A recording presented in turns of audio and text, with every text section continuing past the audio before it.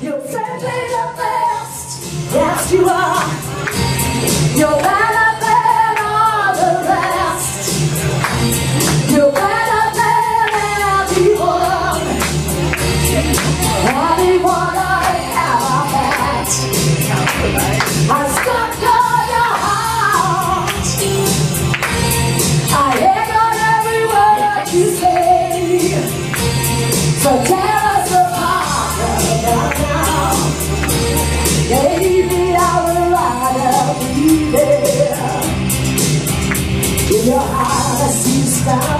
Ba-da-da-da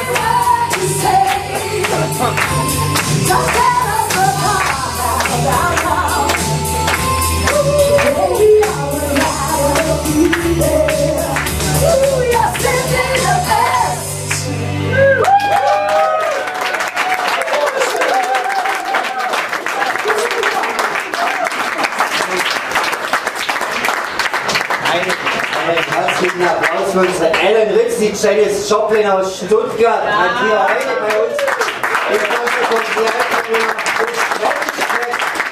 weniger auf die Couch.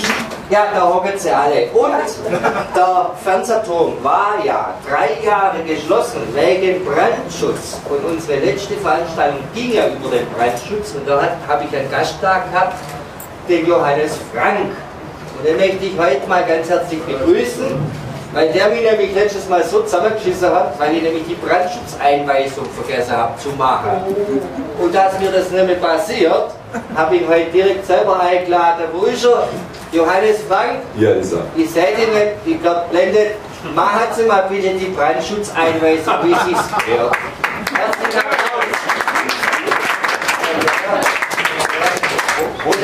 Da feiert er schon. Ja, da feiern wir mal. Brandschutz Oberamtsrat, oder wie heißt der Titel? Feuerwehrmann. Feuerwehrmann, ja. ja. Bescheiden, aber fachkundig. Jetzt klär uns auf, was wir machen müssen, wo wir aushopfen müssen. Also, man muss es wirklich jetzt äh, loben an den SWR 3 und hier die Gesellschaft, die hat also jetzt pro Ebene und äh, es gibt also unter uns noch eine, wir sind auf sieben, dann gibt es acht das Restaurant und neun äh, ist also die Freifläche mit Fernblick.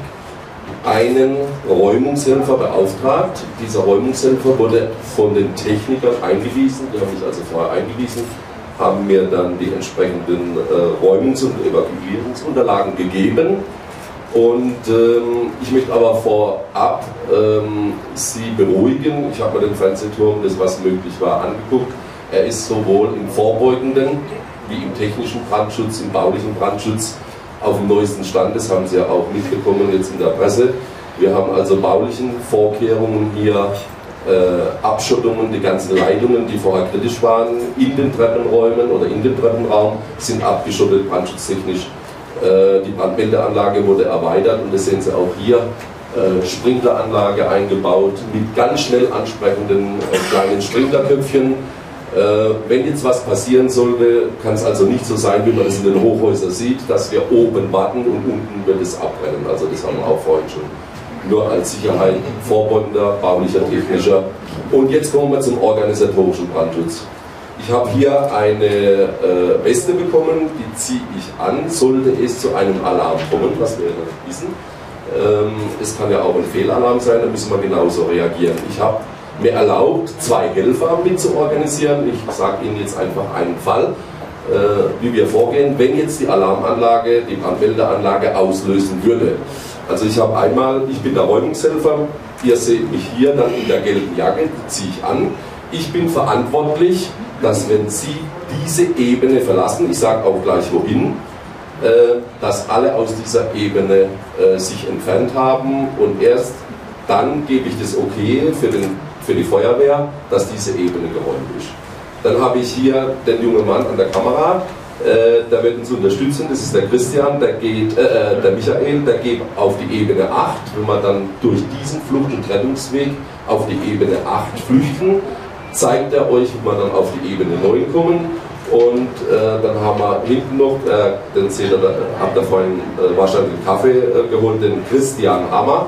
Und der ist dann verantwortlich und nimmt euch oben auf der Freifläche dann im Empfang. Da steht also wir drei äh, habe die Verantwortung übernommen, wenn ein Schadensfall sein sollte, äh, euch ordnungsgerecht zu räumen. Ja, dort oben kommt dann die Fall schon aufgegeben. äh, schwer einfach. Also der Gag hätte von mir stammen können, so viele Fallschirme gibt es nicht, äh, sind nur für die drei Räume sind für die Fallschirme. Das habe ich vermutet. Ja, jetzt, wir haben das jetzt ordnungsgemäß gemacht, ist das schon weiter. Wir haben das jetzt ordnungsgemäß gemacht und du kannst mir also jetzt nicht mehr zusammenscheißen, wie beim letzten Mal. Also haben wir das endlich erledigt. Herzlichen Dank. Kommen wir jetzt endlich mal hier zu Schwäbisch Geschwätz, Politiker auf die Couch.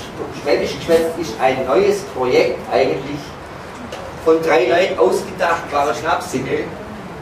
Aber man sieht selber, jetzt sitzen wir hier im Fernsehturm mit Herz, mit Verstand. Heute wird keine langatmige Wahlkampfsrede gehalten, sondern heute wird Tacheles geschwätzt. Ja? Wir fragen auch richtig nach. Und ähm, ich möchte euch jetzt erstmal meine Gäste mal vorstellen. Ich habe heute sogar fast die Frauenquote erfüllt. Ja?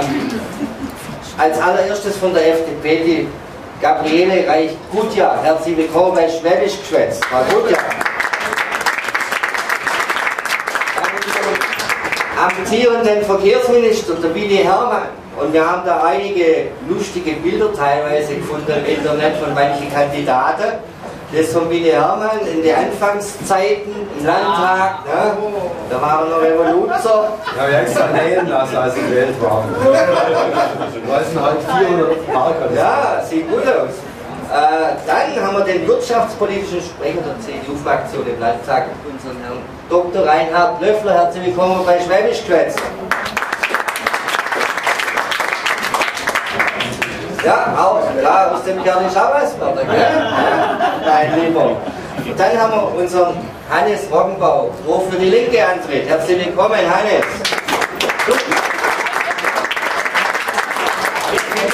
irgendwie sitze ich ein bisschen falsch. Ich gehöre doch eher darüber, oder? Ja, wir wollten eine gute Mischung eigentlich, Ah, ja. Der Sozialisationsprojekt. Der Fremde neben mir. Der Fremde. Und jetzt, last but not least, haben wir den Vorsitzenden vom Mieterbund Baden-Württemberg in Stuttgart, den Herrn Rolf Gassmann. Herzlich willkommen von der SPD.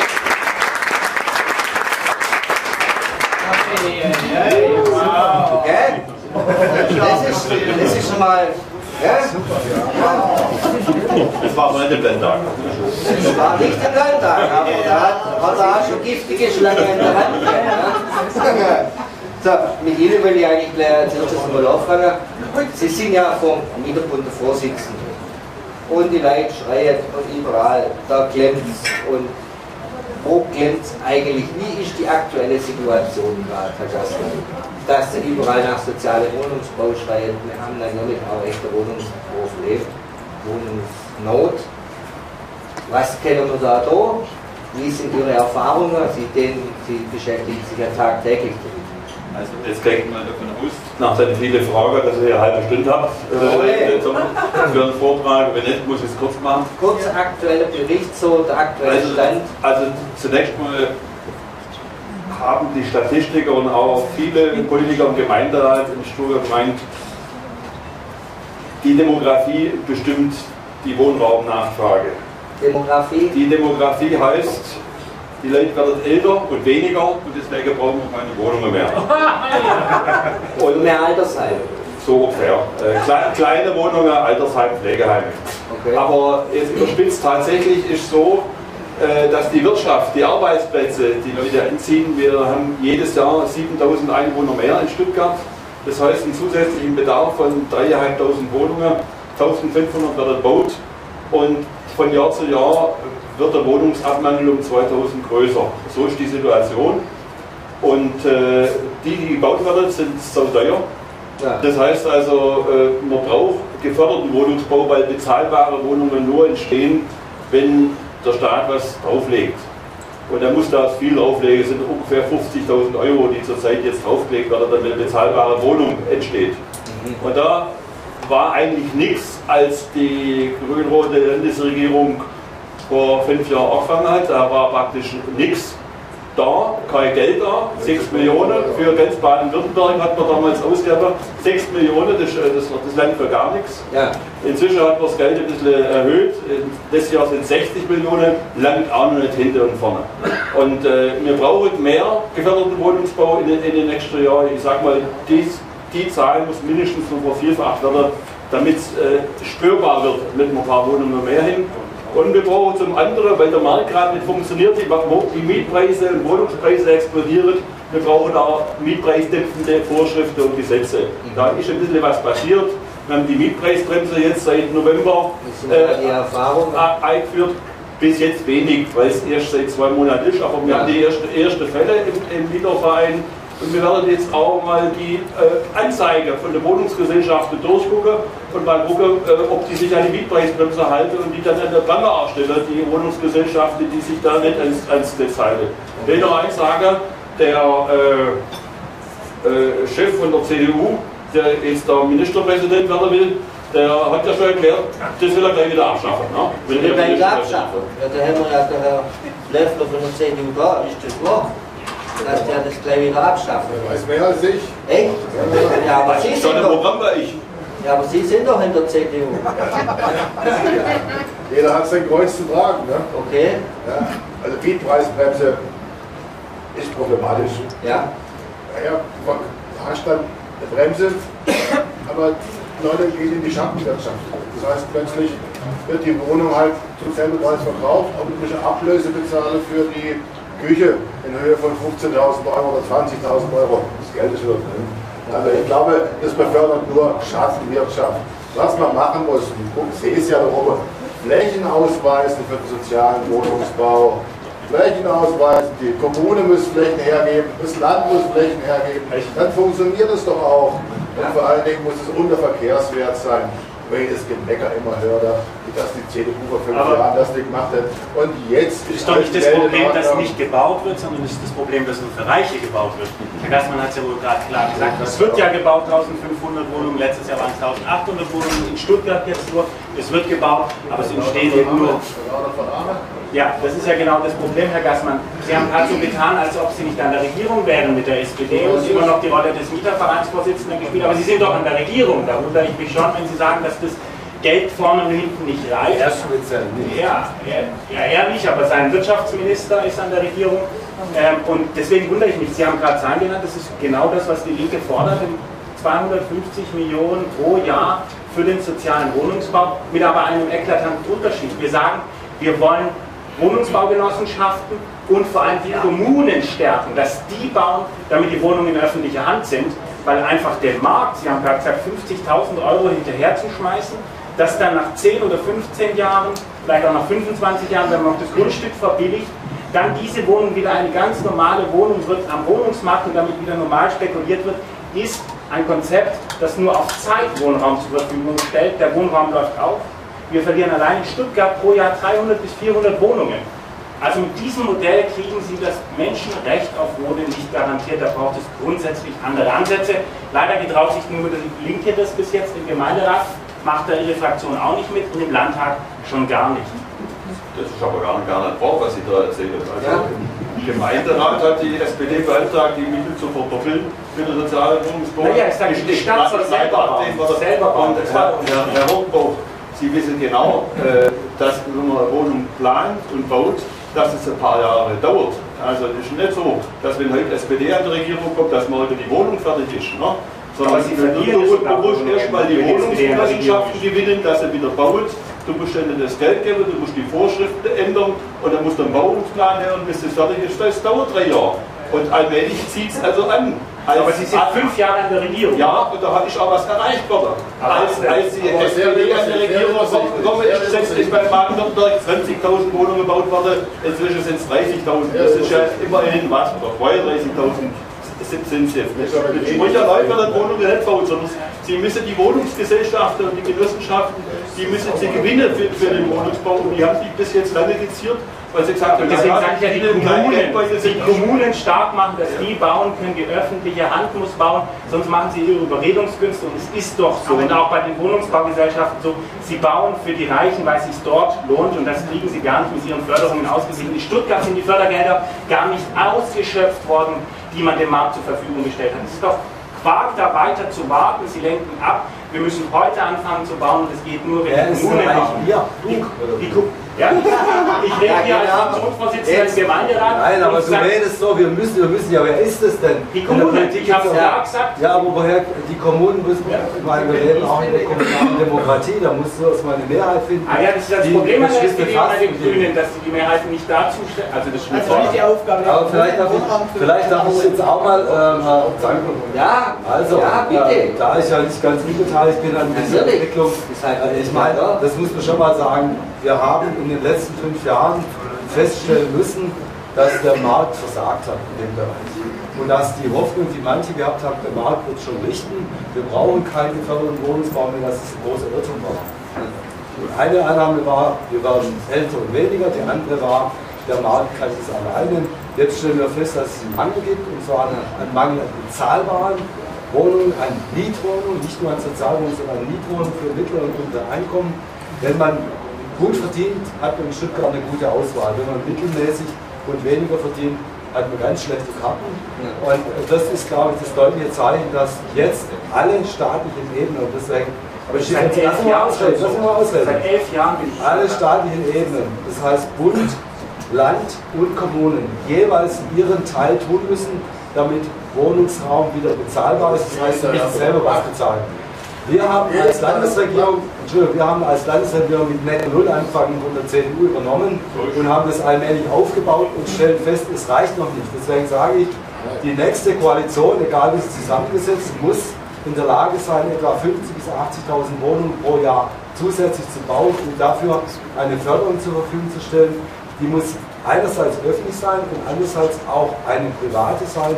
Wir haben ja als Landesregierung mit äh, die Initiative gestartet, dass es eine Sonderabschreibung geben soll für Wohnungsbauinvestitionen, wie das im Osten äh, in den 90er Jahren war, wo man im Grunde genommen den Osten saniert hat über die Sonderabschreibung. Das heißt, es gibt schon auch privates Kapital, was eine Anlage sucht, aber es rentiert sich nicht, wenn man sozusagen in den niedrigen Segment investiert, deswegen braucht es eine öffentliche Förderung.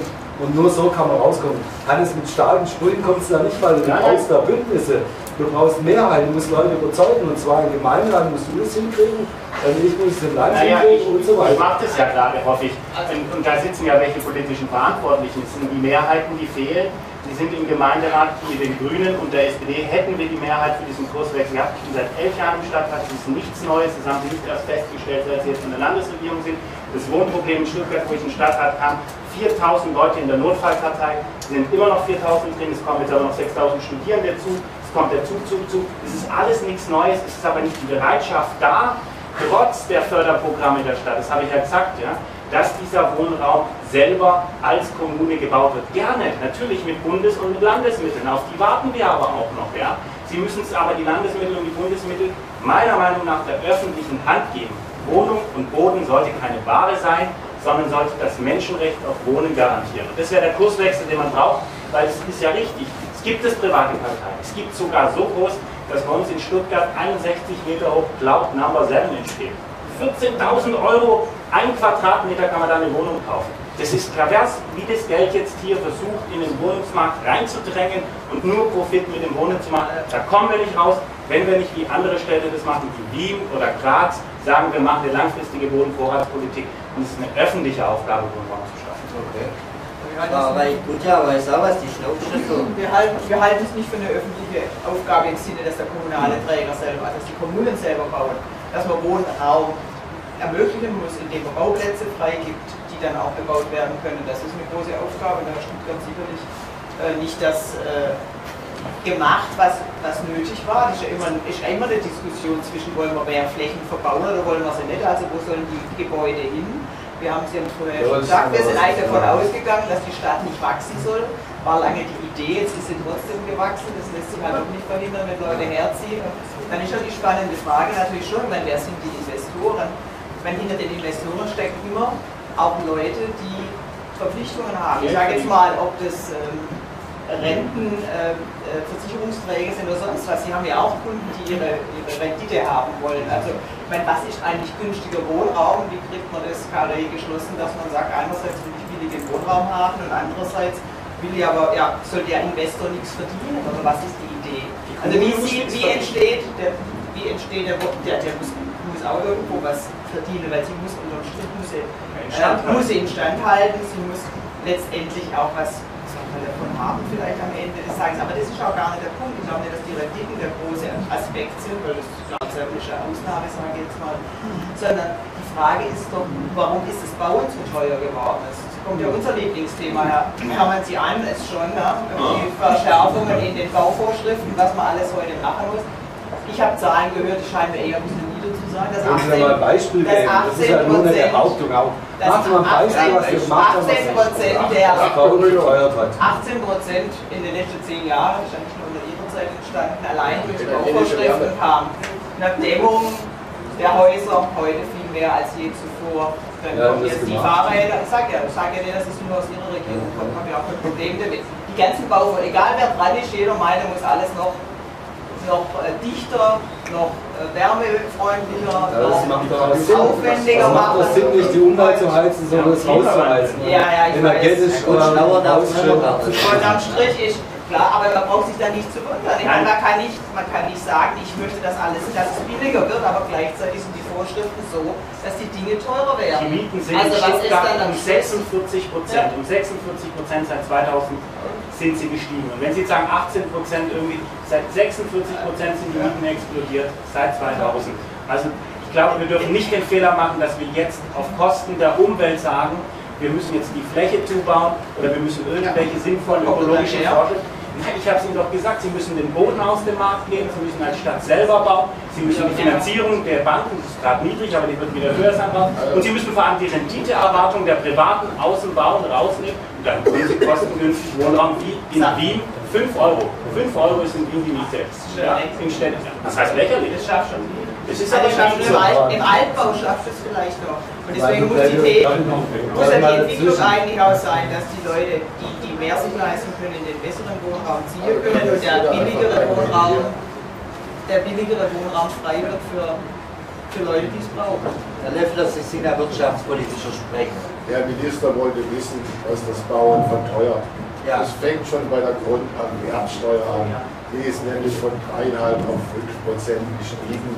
Und das merkt für mich richtig hier in Stuttgart. Ne? Das ist richtig viel Geld.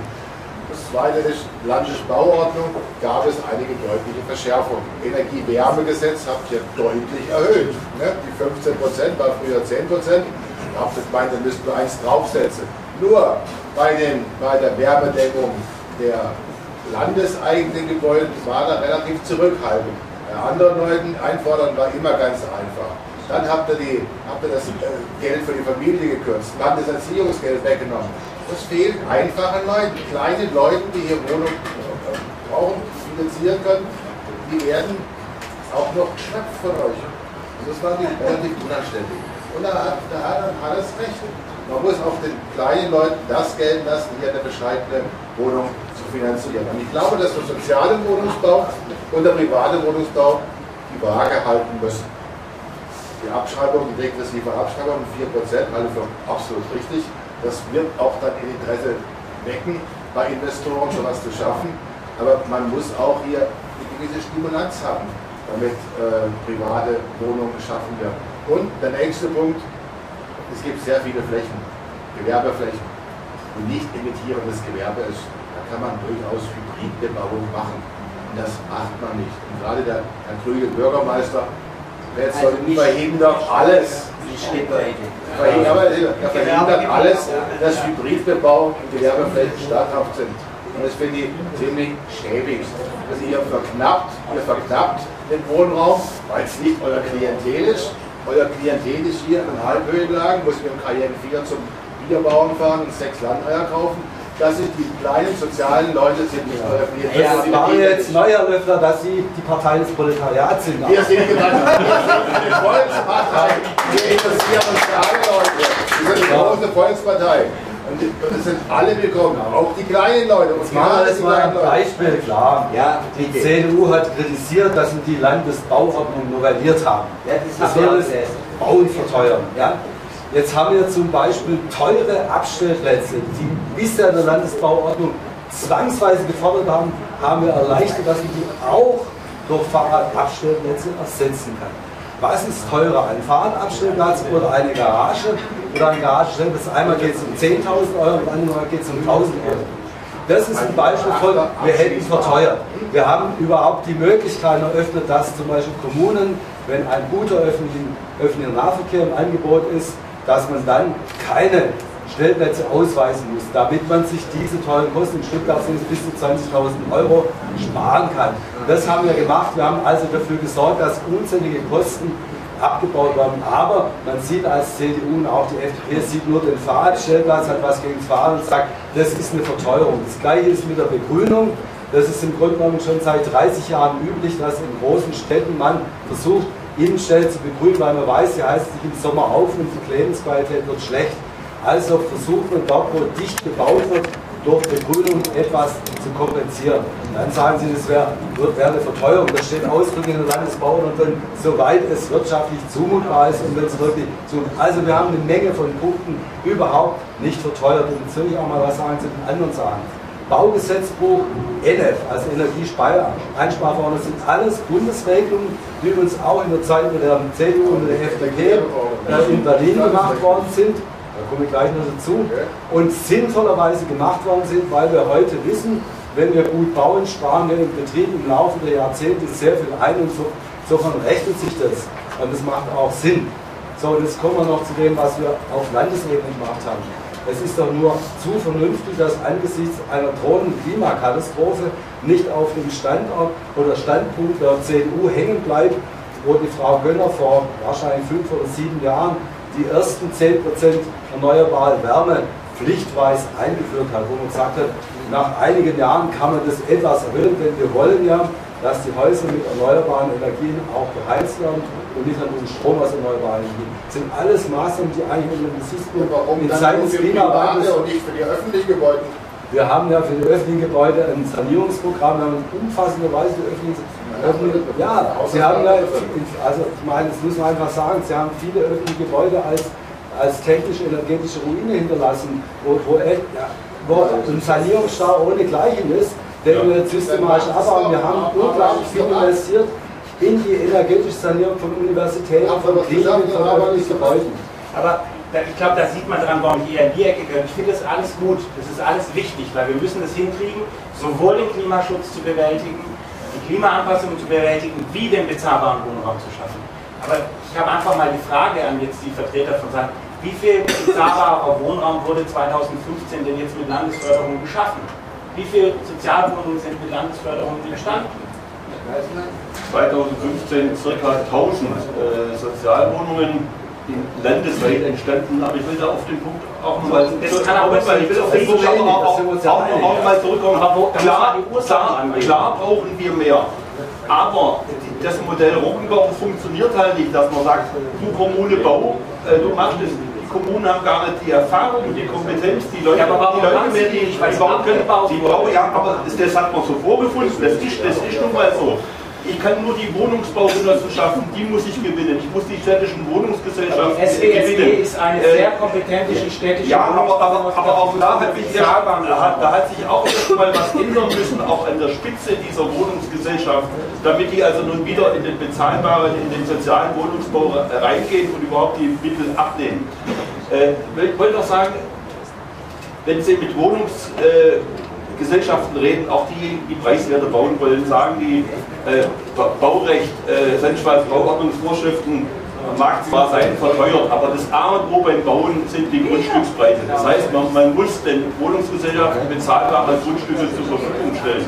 Und, und, da, da stelle ich also halt fest, immer, immer dann, wenn also nun mal ein größeres Grundstück äh, da ist, zum Beispiel im Neckarpark, da, da eiert die CDU rum und sagt, nein, das wollen wir nicht, da ist doch der Staat in der Nähe und da ist da drüben der, der Maßen und da ist äh, 14 Tage im Jahr lauter, da kann man nicht bauen. Jetzt, jetzt äh, hat gestern Abend zum ersten Mal getagt das Forum Rosensteinpark, wo sich Gedanken macht, wie da die Bau- Bebauung sein soll. Das ist reserviert als Platz, wo mal 7.500 Wohnungen entstehen sollen. Übrigens auch, zwar- auch 200 Hektar mehr Park soll auch entstehen. Auch da, auch, äh, Entschuldigung, 20, 20, 20. 20 haben wir nicht. Äh, 20, 20 Hektar Pa- Park, 100, äh, 100 Hektar äh, für, die, für die Wohnfläche. Auch da eiert jetzt äh, die CDU rum und äh, sagt jetzt, wir müssen können jetzt auch was äh, vorstellen. Und ich glaube, da, da eiern die Linken auch, weil sie sagen haben, wir sind ja eh gegen Stuttgart 21, deswegen wollen wir da auch kein, wollen wir gar nichts haben. Nee, Aber ich meine, kann äh, erklären. Raubbau, aber nein, man kann nicht beides machen. Man kann nicht den anderen Vorwürfe sagen, ihr baut nicht, äh, ihr baut keine bezahlbare Wohnung, aber wenn dann in Fläche da sind, sagen, dann mach ich nicht mit. Also die Flächen sind ja nicht da. Das ist ja klar. Die Flächen sind, das ist ein Wolken-Kuckuck-Zeit, das ist ein Wolken... Ja, ich sag's nur, weil Herr Gassmann das ja angesprochen hat. Das ist ja ein Ablenkungsmanöver von den heutigen Problemen. Also, Winne, du kannst jetzt ja mal sagen, wann das irgendwie fertig wird. Aber es ist auch ein Ablenkungsmanöver für die heutigen Probleme, die ernsthaft sind, wo die Menschen heute aus der Stadt wegziehen müssen, keine Wohnung mehr finden, die stehen bei uns im Rathaus, wir können ihnen nicht helfen. Und es liegt nicht an Stuttgart 21, sondern es liegt daran, Sie haben es gerade gesagt, dass die Fläche der Haupttreiber ist, der Boden der Haupttreiber ist für diese Baukostenentwicklung. Und deswegen finde ich so katastrophal, dass die Gemeinderatsmehrheiten, auch die SPD und die Grünen, es zulassen, dass der Finanzbürgermeister in Stuttgart jährlich Boden privatisiert in der Höhe von 20 Millionen Euro. Das geht einfach nicht. Das ist Loge, das wird gar nicht, wird gar nicht mehr privatisiert und wurde. Das war die Politik. Darf ich mal darauf hinweisen, dass wir nicht für die Kommunalwahl in Stuttgart antreten? Ja, ja. Ich will jetzt mal die Aussage auf den Wille, das ist ein Hauptakteur im Wohnungsbau. Wenn du das ändern willst, ernsthaft brauchst du die Kommunen. Du musst die als Land stark machen. Ja, aber es gibt ja Kommunen, die das anders machen als Stuttgart, die zum Beispiel etwa Tübingen macht seit langem eine Bevorratungspolitik und gibt dann an Familien die Fläche zu einem günstigen Preis, machen übrigens viele Städte. Das, das erfordert eine Mehrheit in der Kommune und richtet vielleicht uns mal auf das verständigen, dass wir alle inzwischen überzeugt sind, dass man in den nächsten Jahren mehr für Wohnraum tun muss und dass der Wohnraum bezahlbar ist. Wir haben nicht das Problem, dass es gute Wohnungen gibt oder sehr gute Wohnungen, sondern man muss bezahlbare Wohnungen haben. Und äh, das will ich jetzt auch noch äh, vielleicht hinzufügen, weil vorhin mal gesagt worden ist, es liegt daran, dass wir keine Flächen haben. Mein Ministerium hat mal die Flächen in Baden-Württemberg zusammengezählt aus den Regionalplänen und als rauskommt, dass es so etwa 25.000 Hektar sind, die als Bauflächen äh, zur Verfügung stehen, die unmittelbar bebaut werden können. Dann haben wir noch abgerechnet, dass nicht alle sofort verfügbar sind, dass es andere Hindernisse gibt und sind dann auf etwa netto 19.000 Hektar. Und auf 19.000 Hektar könnte man locker alle Probleme, die wir heute haben, lösen. So, warum? Das heißt, es ist einmal ein vorgeschobenes Argument. Das Hauptproblem ist, dass wir nicht die Strukturen haben, die äh, die, die Finanzierung sicherstellen. Hannes, und da gibt es, glaube ich, einen Unterschied zwischen zum Beispiel zwischen mir und, und deiner Position. Ich glaube, dass man sowohl öffentliches Geld braucht, öffentlich gefördert und wie auch privates Kapital man für diesen Bereich sichern muss, indem man günstige steuerliche Bedingungen bietet, damit man zusammen genügend Kapital kriegt, damit man überhaupt was hinkriegt. Also die Kommunen können sich gerade für fast null, wenn sie einen Kommunalkredit machen, kann man sich für fast null das Geld, also wir kommen an Kapital dran. Das Wichtige ist, glaube ich, dass das Land nicht das Geld dem Markt hinterher schmeißt. Das ist ein Tropfen auf einen heißen Stein, damit kriegen sie es nicht hin. Sie müssen die entscheidenden Akteure, das sind die Wohnungsbaugesellschaften, da gebe ich ja recht, das sind aber auch die Kommunen, die, denen müssen sie vorrangig das Geld geben. Und wir müssten vielleicht, damit sind wir beim Land, mal wieder gemeinsam eine Initiative machen im Bundestag aller Länder, dass wir wieder ein Gemeinnützigkeitsgesetz für den Wohnungsbau brauchen. Das wäre wirklich ein Vorteil, dass eben die Baugenossenschaften und die städtischen Gesellschaften endlich wieder auch gemeinnützig Wohnraum machen. Ich glaube, es war ein großer Fehler, dass das abgeschafft wurde in den 90er Jahren. Das wäre eine Initiative, die könnten wir vom Land aus machen. Das hätte ich für ganz wichtig, damit einfach klar wird, es gibt das Recht auf Daseinsvorsorge, ist was, das dem Allgemeinwohl liegt, dann muss es auch steuerlich bevorteilt werden. Okay. Finde ich gut. Herr Löffler, Also wir sollten, wir sollten mal darüber diskutieren, Ja. wie wir uns hier unterhalten. Also ich habe keinen Bock drauf, dass der Herr Offenbach hier eine Alleinbehandlung macht No, no. und ständig reinredet. So entsteht keine Diskussion. Es soll Also alle müssen gleichermaßen zu Wort kommen. Und es ist jetzt eigentlich auch wichtig, dass jeder zu Wort kommt und was sagen kann. Ich, ja, du, redest ständig. Ne? Ist ja alles interessant, aber das tötet eine Diskussion. Ja. Das macht dann keine Laune. Jetzt, was sagt, was sagt jetzt zum Beispiel die CDU? Zumal jetzt äh, in eine kurze Sache, was tätet ihr jetzt als CDU machen, wenn ihr jetzt praktisch wendet? Für, Theoretisch. Ich weiß gar nicht, warum der Zweifel entstehen da. Also, ja, die CDU ist eine Partei des teuflische Populismus. Eichhörnchen. Ja? Man hat ja Eichhörnchen. ja ja.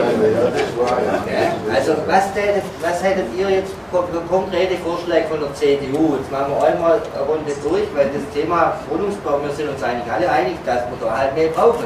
Aber was machen wir wirklich? Also den privaten Wohnungsbau stimulieren und den Bereich des sozialen Wohnungsbaus mehr Flächen, öffentliche Flächen nutzbar machen für den sozialen Wohnungsbau.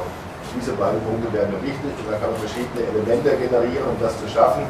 Aber äh, privater Wohnungsbau ist ganz essentiell. Wenn es sich nicht lohnt, Wohnungen zu bauen, werden kann die gebaut. Und das darf man nicht, das darf man auch nicht verhindern. Und äh, kann mir vorstellen, dass wir da eine Policy entwickeln. Ja gut, das sind jetzt die Abschreibungsvorschriften, die, die geplant sind. 35% Abschreibung. 4 Prozent pro Jahr. 35 Prozent in drei Jahren ist, ist geplant. Das, Das ist, das hat die große Koalition, müsste ich informieren, inzwischen auf den Weg gebracht. Da wird einiges an privatem Kapital in den Wohnungsbau gehen, bloß die Wohnungen, die da gebaut werden, werden natürlich auch eher die, die teureren Wohnungen sein. Aber auf eins werden möchte, auf, eins möchte ich aber noch hin- hinweisen, Herr Löffler. Wissen Sie eigentlich, dass bei der Volkszählung festgestellt wurde, dass 11.400 Wohnungen in Stuttgart leer stehen? 4.000 stehen in der Notfallkartei, 11.400 Wohnungen stehen leer. Und jetzt hat man mit Rot-Grün oder Grün-Rot, wie man es auch nennt, äh, das Wegentfremdungsverbot in Stuttgart eingeführt. Was sagt der Herr Wolf? Wenn ihr an die Regierung kommt, schafft es wieder ab. Da sollen die Wohnungen weiterhin leer stehen.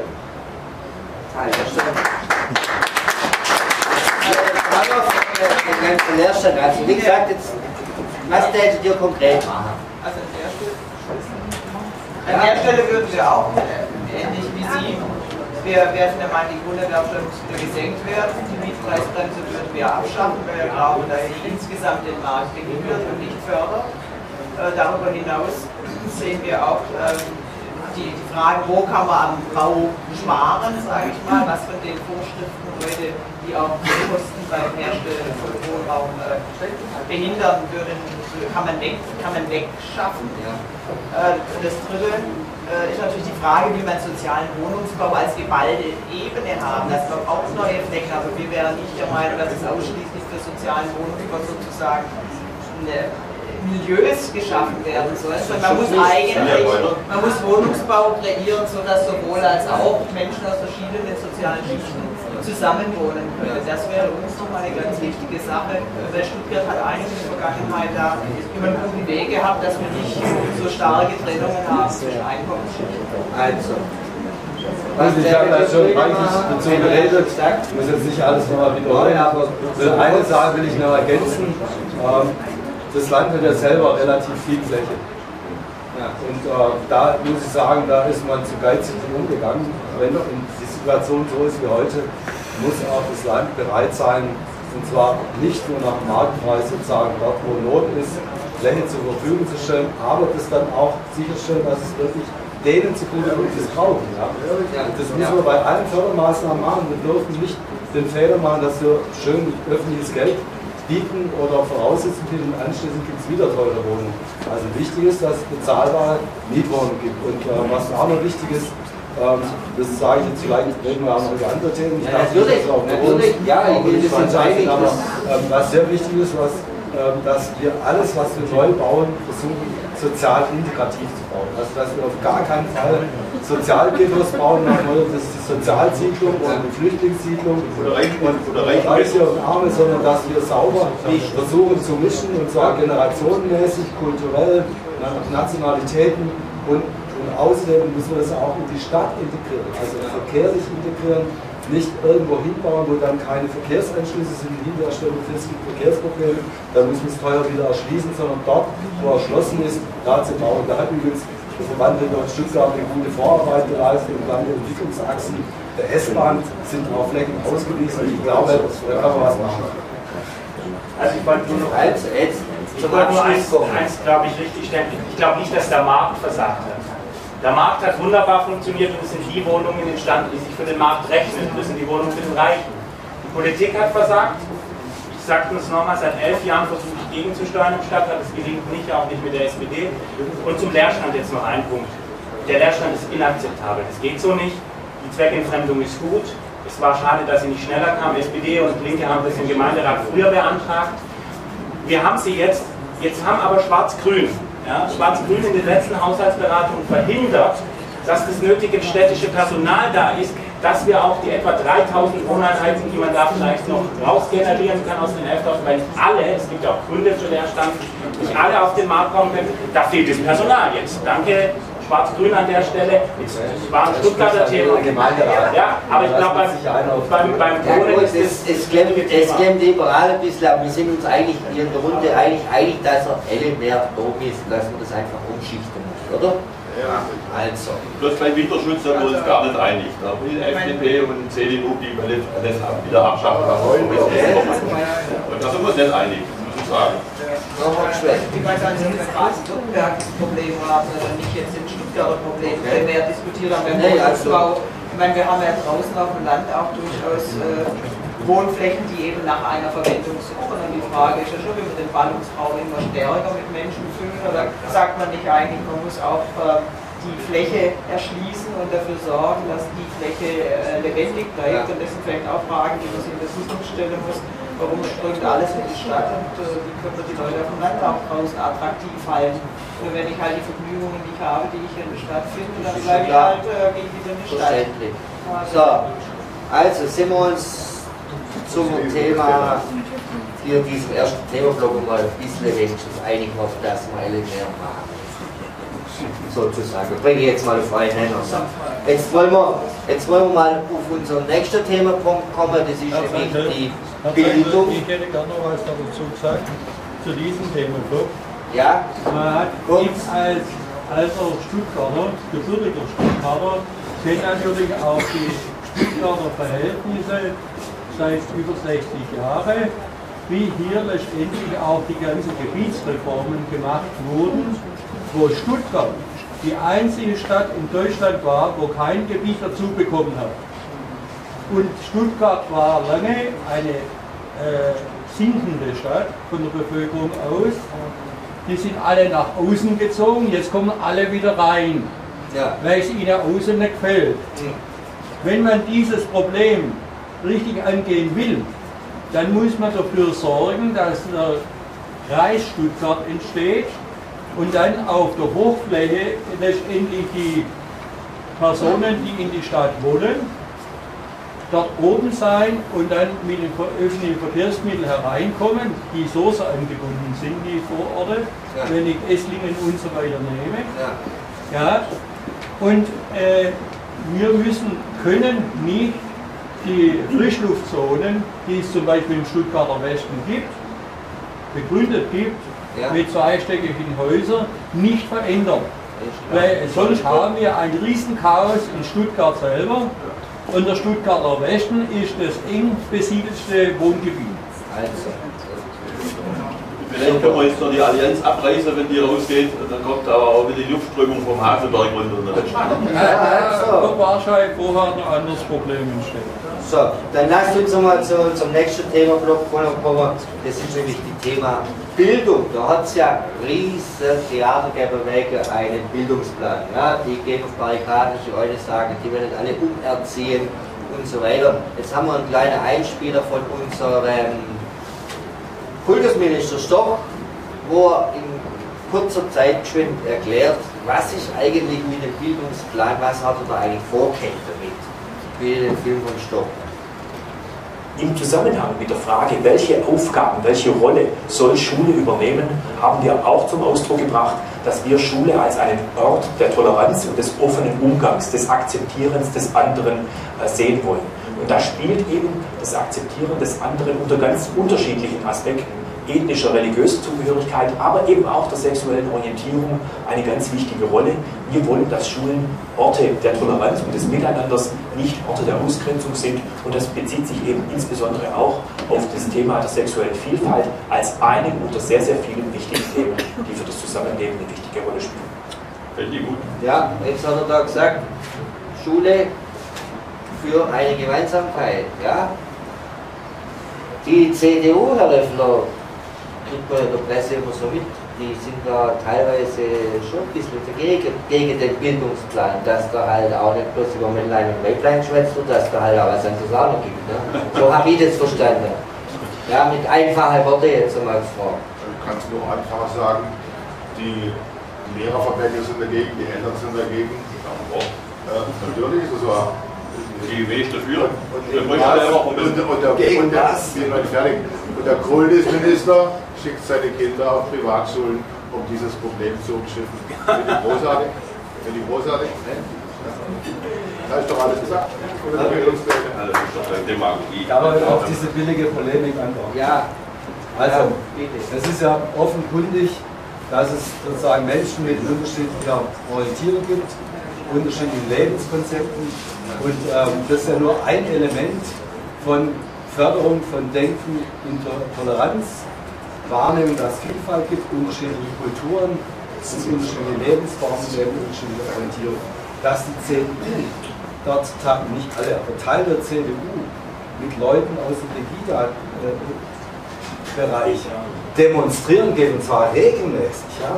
Wobei selbst in der CDU soll es ja inzwischen Schwule geben, die kommen sogar im Bundestag, gab es sogar einen Bürgermeister, wo man dachte, aha, die CDU hat auch begriffen, dass wir nicht mehr Mittelalter sind und dass es nicht mehr verboten ist, dass man, dass man äh, schwul oder lesbisch ist. Und das glaube ich, dass das Sinn macht, weil, äh, weil tatsächlich immer noch das Formen sind, die heute auch im Schulhof stattfinden, wo man sagt, du schwule Sau, äh, das ist immer noch ein beliebtes Schimpfwort und das zeigt einfach, wir haben da noch einen Aufklärungsbedarf.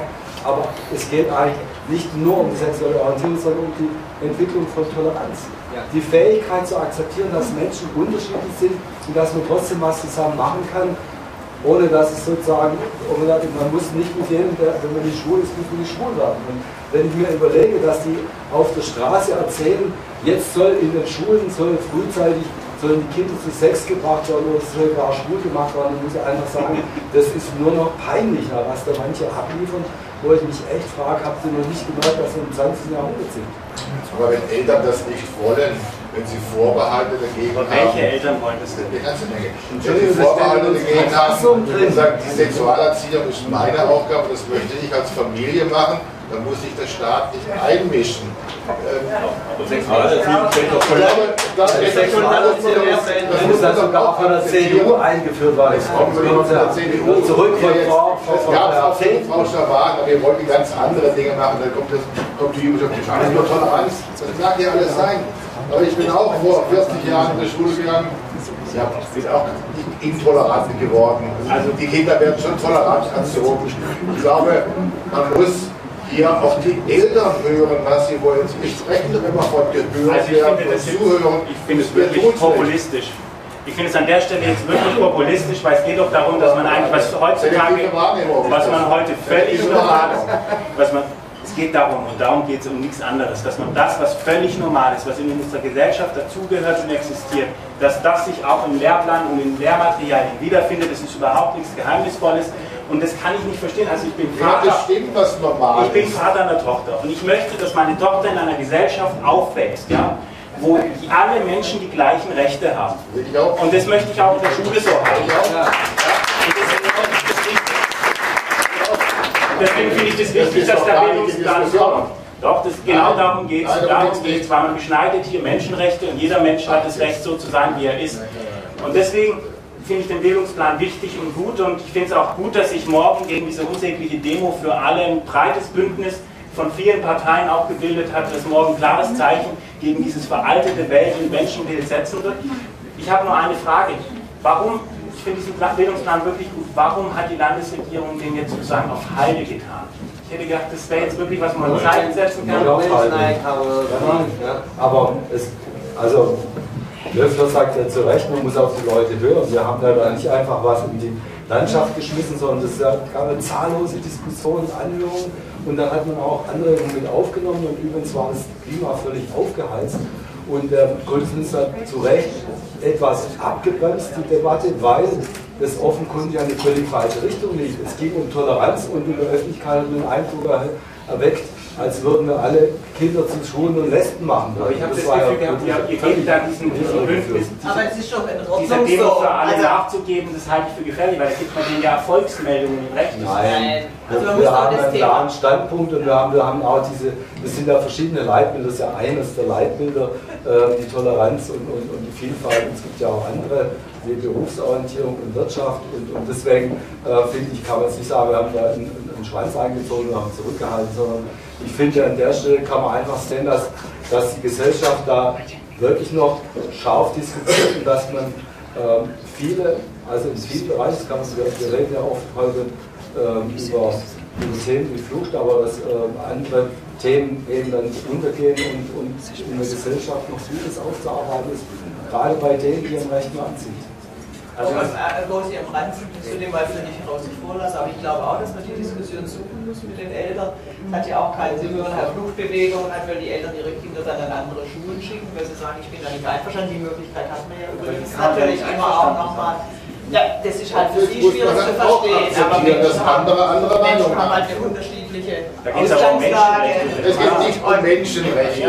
Nein, es ist Also nicht ich, um ich Menschenrechte. denke, Alles sind wir als Menschenrechte. FDP haben ja wirklich das Thema äh, Vielfalt in der Gesellschaft äh, unterstützen und, und, und wertschätzen ist unser, unser absolutes Thema. Deswegen wissen wir auch, wie schwer das ist mit den Homosexuellen.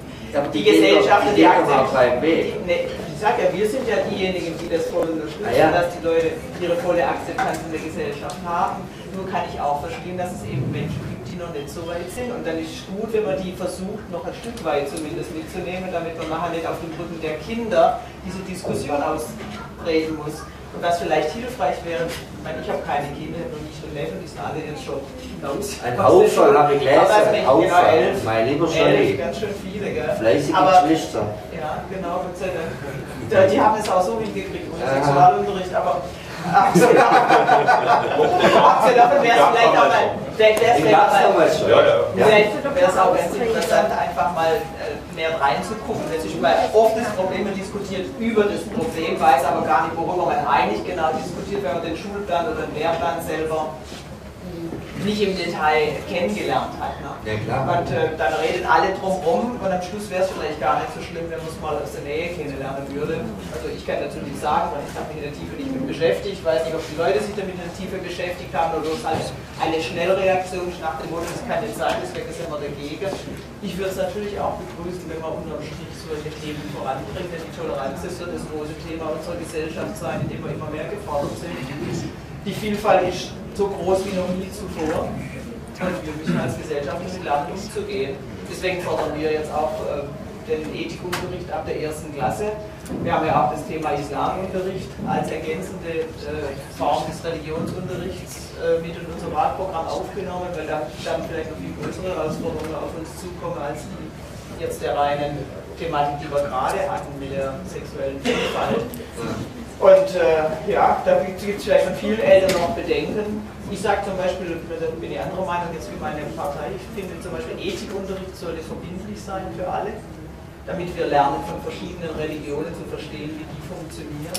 Und dann der Religionsunterricht freiwillig, heute ist ja andersrum, also Ethikunterricht mache ich halt, wenn ich keinen Religionsunterricht besuche. Ja. Ich finde das schade, denn wir brauchen dringend das Verständnis für verschiedene Religionen, auch für verschiedene sexuelle äh, Ausrichtungen. Ich meine, ob ich das verstehen muss, alles so als Kind, ab welchem Alter ich das verstehen kann, da kann ich ein bisschen nachvollziehen, dass man da seine Grenzen irgendwo sieht. Ich weiß nicht, ab welchem Alter das Ja, Kinder da- Relevanz hat und da- wenn das wenn Payment ist im Da Schulbereich. sein querschnittsorientiertes Leitbild, was natürlich altersgemäß äh, interpretiert wird. Es geht in der Grundschule halt um, da wird es ja nicht um sexuelle Vielfalt gehen, sondern eher um die Vielfalt der Kulturen, dass man versteht, was haben die anderen Kinder für Feiertag, was bedeutet für die Weihnachten, gibt es bei denen überhaupt und solche Dinge. Darum geht es. Also insofern kann man, ich glaube, Toleranz kann man schon auch lernen. Also die Schule muss dazu beitragen, dass man tolerant wird. Also das ist, äh, das ist ich glaube, Toleranz ist das, Ergebnis äh, von Wissen. ja. Ich wollte als Lehrer Ja. äh, zu dem Thema Bildungsgesamtplan noch kurz was äh, ergänzen dürfen. Äh, mich hat ein bisschen geärgert, äh, wie der Herr Löffler da äh, Unwahrheiten verbreitet, weil äh, Sie haben gesagt, die Lehrerverbände und die Eltern seien alle dagegen. Das ist doch. Elle Also die, die, die. GIW als größter Lehrerverband, äh, die unterstützt es. Herr Und, und der, und der Bahnmeister, da muss man auch sagen, äh, einige wenige. Nein, das, Oder, das steht oder der. Gesamtelternbeirat, der stand auch dahinter, der ist ja ein- einbezogen worden in, hinter diese, diese Richtlinie.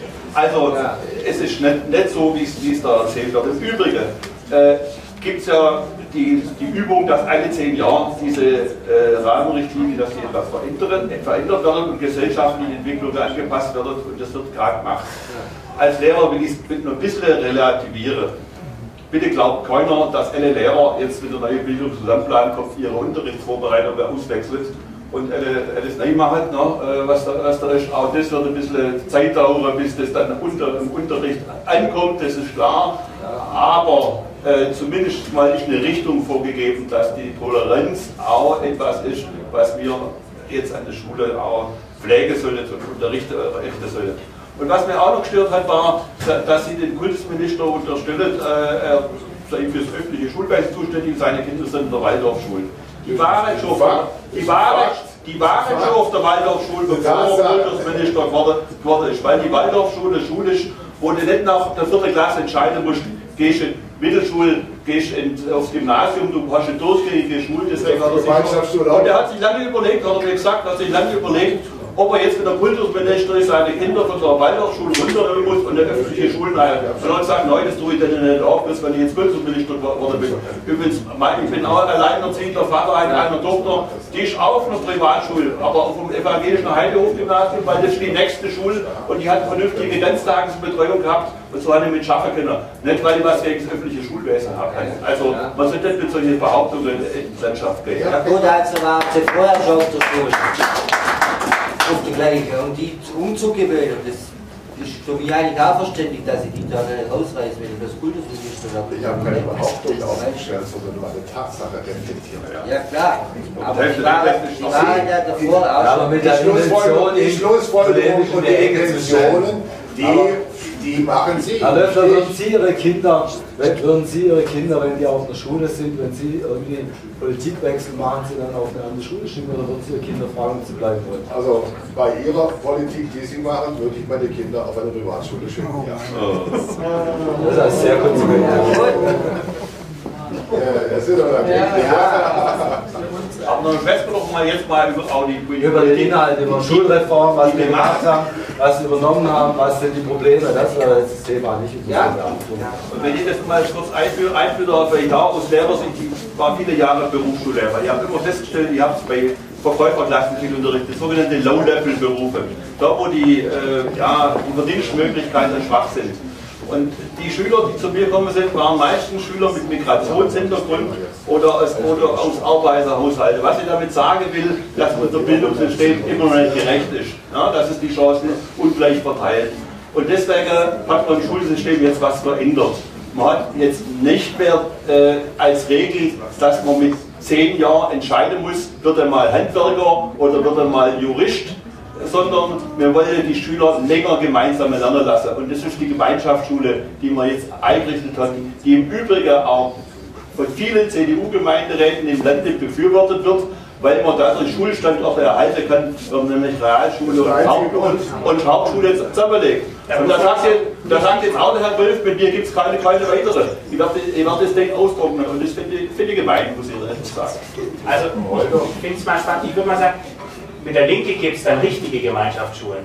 Weil das, was- wenn man Gemeinschaftsschulen macht, muss man es auch zu Ende denken. Und was ich auch an der Stelle einfach sagen will, da würde ich gerne ermutigen und das auch dann im Landtag, dass man die Gemeinschaftsschule zu Ende denkt und dass sie eben nicht nur ein, eine Notlösung ist für Werkrealschulen oder Hauptschulen, sondern dass das gemeinsame Lernen dann auch am Ende enden kann in der gymnasialen Oberstufe. Ich finde es ganz wichtig, dass an einer Schule praktisch alle, alle Abschlussarten da sind. Ist vorgesehen, aber jetzt hat man das noch Aber nicht vorgemacht. als Möglichkeit ist vorgestellt. Natürlich, also das ist das, aber das ist zentral wichtig. Wir erleben gerade immer leider nur, dass es doch nicht die komplette Gemeinschaftsschule ist. Und wir erleben auch, dass noch nicht für das individuelle Lernen, was an der Gemeinschaftsschule ja das Schöne ist, weil wenn man Kinder unterschiedlicher Schnelligkeit hat, dann muss man es individuell machen, noch das nötige Personal. Es ist mehr wie in den Regelschulen, das ist gut so, aber es ist noch nicht das nötige Personal. Ich glaube also, wir müssen da noch einfach was drauflegen, dann ist dies genau die sinnvolle Schule, um an die Selektivität, die immer noch in Baden-Württemberg eins der, der krassesten, selektivsten Schulsysteme, was die soziale Herkunft ist, auch seit der Einführung der Gemeinschaft. Und um das zu ändern, müssen wir einfach nochmal das zu Ende denken, das Gymnasium draufsetzen und mehr Personal zur Verfügung stellen, wie wir es jetzt gemacht haben. Also der größte, der, der, die größte finde ich, die, die größte soziale Verwerfung, die ich hier in den Ausführungen höre, ist, dass Leute, die nicht vom Gymnasium kommen, am Schluss weniger wert sind. Der duale Ausbildungsgang, und das ist in Baden-Württemberg vorbildlich, die Vielfalt dualer Ausbildungssysteme, die auch für unsere Wirtschaft ein enormer Erfolgsfaktor ist, den runterzuwerten und so zu tun, als wäre Abitur das Nonplusultra, Doktor gleich danach. Das ist für mich nicht richtig. Und wenn ich einen dualen Ausbildungsberuf mache, ich war bei Bosch lange Jahre, 14 Jahre Personalwesen. Und ich habe da sehr viele Leute eingestellt von außen. Und ich habe die Bildungswerdegänge gesehen. Da waren viele junge Männer dabei, vor allem, die haben so mit 16 keinen Bock auf Schule mehr gehabt, vielleicht auch schon mit 15 nicht. Dann sind die in eine Lehre gegangen, haben eine Lehre gemacht, haben dann gemerkt, Mensch, ich habe doch mal Lust, was draufzusetzen, das ist es vielleicht noch nicht. Dann haben sie Fachhochschulreife nachgeholt, dann haben sie eine an der FH Esslingen damals oder irgendwo in einer dieser FHs äh, studiert und sind bei Bosch Spätzle, Wunder. da will man sagen. Ich würde gerne mal als ist die Idee einfach, dass ein Mensch durchmarschiert auf einmal und dann ist er fertig, dann hat er seinen Bildungsweg geradeaus durchmarschiert. Das ist doch eine Illusion, das wird dem Menschen überhaupt nicht gerecht. Jeder Mensch hat eine völlig andere Disposition. Ich nehme an, wir sind vier Kinder aus dem gleichen Haushalt, aber jeder von uns hat einen völlig anderen Weg gegangen. Mein Bruder, der hat äh, Gymnasium besucht, dann hat er Realschule gemacht, dann hat er Wirtschaftsgymnasium gemacht, dann ist er FH gegangen. Der andere Bruder, der ist auch mal sitzen geblieben, dann hat er Banklehre gemacht, hat ein Obstgroßhändler und macht einen guten Job und verdient außerdem mehr als jeder andere von uns. Ja, also ich meine, Bildungswege sind so vielfältig und der Mensch ist nicht erfolgreich, weil er eine gute Bildung gemacht hat, sondern weil er was aus seinem Leben machen kann. Und das lernt man zu Hause und nicht nur in der Schule, weil wenn ein Lehrer lernst, das nicht, verstehst du, gute Abiturnote garantieren keinen- keinen tollen Job und garantieren dir auch nicht ein gutes Einkommen, sondern dass du verstehst. Und das war der wichtigste Satz in unserer Familie immer wieder erzählt von meinem kleinen Bruder, als der dann aus dem Gymnasium raus ist in der 9. oder 10. Ich weiß nicht mehr genau, wann es dann so weit war. Da hat der Lehrer zu ihm gesagt, weißt du was, von dem, die machen wir folgende Sorge, du wirst immer deinen Weg gehen.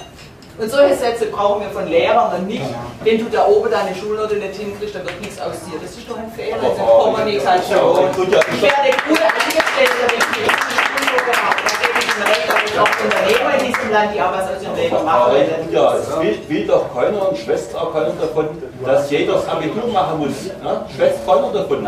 Sondern es geht darum, dass jeder die Möglichkeit haben soll, wenn er dazu die Lust hat, wenn er dazu die Begabung hat. Und darum geht es. Und dass auch die, auch die, die aus Migrantenfamilien kommen, wo, die, wo Vater und Mutter Nachmittag schaffen und eben nicht helfen können, dass die die Möglichkeit haben, wenn sie in der Ganztagesschule sind, gemeinsam die Hausaufgaben zu machen und, und, und die Chance haben, weiterzukommen. Darum, darum geht es. wir, wir, wir, wir, wollen, wir wollen niemanden dazu zwingen, aber äh, es ist ja heute so, dass wenn Sie in Stuttgart die Übergangszahlen sehen, fast 60 Prozent, fast 60 Prozent gehen aufs Gymnasium.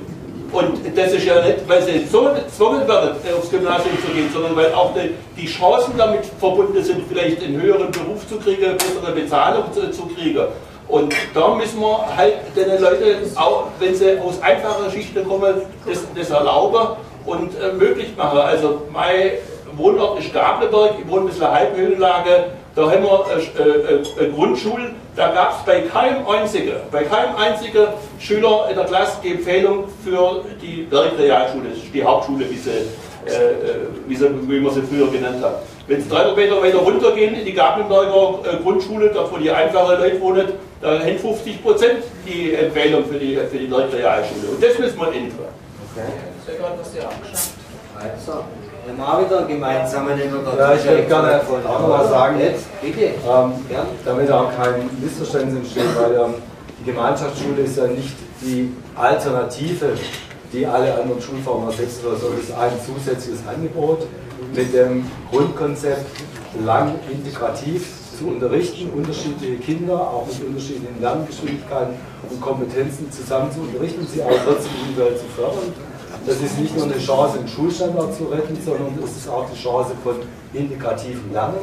Und es ist übrigens auch ein Weg, auf in neun Jahren zum Abitur zu kommen. Das ist sozusagen unsere Vorstellung, dass die, Gemeinschaftsschule der Weg des neunjährigen Abiturgangs werden kann, wie übrigens auch für beruflich, die beruflichen Fachschulen und so. Und auf der anderen Seite das Gymnasium als G8, das sozusagen schnell ist und vielleicht auch etwas stärker auf auf intellektuelle Fähigkeiten sowas Wert legen und, und, irgendwie auch vielleicht mit, mit höherem Zeit- und Leistungsdruck arbeiten. Also ich glaube, nicht zum anderen halt. Nicht? Ja, aber wir haben da eine Vielfalt entwickelt und wir haben ja auch sicherlich einige dazugelernt, denn manche haben ja gedacht, die Gemeinschaftsschule ist sozusagen die Alternative zu allem.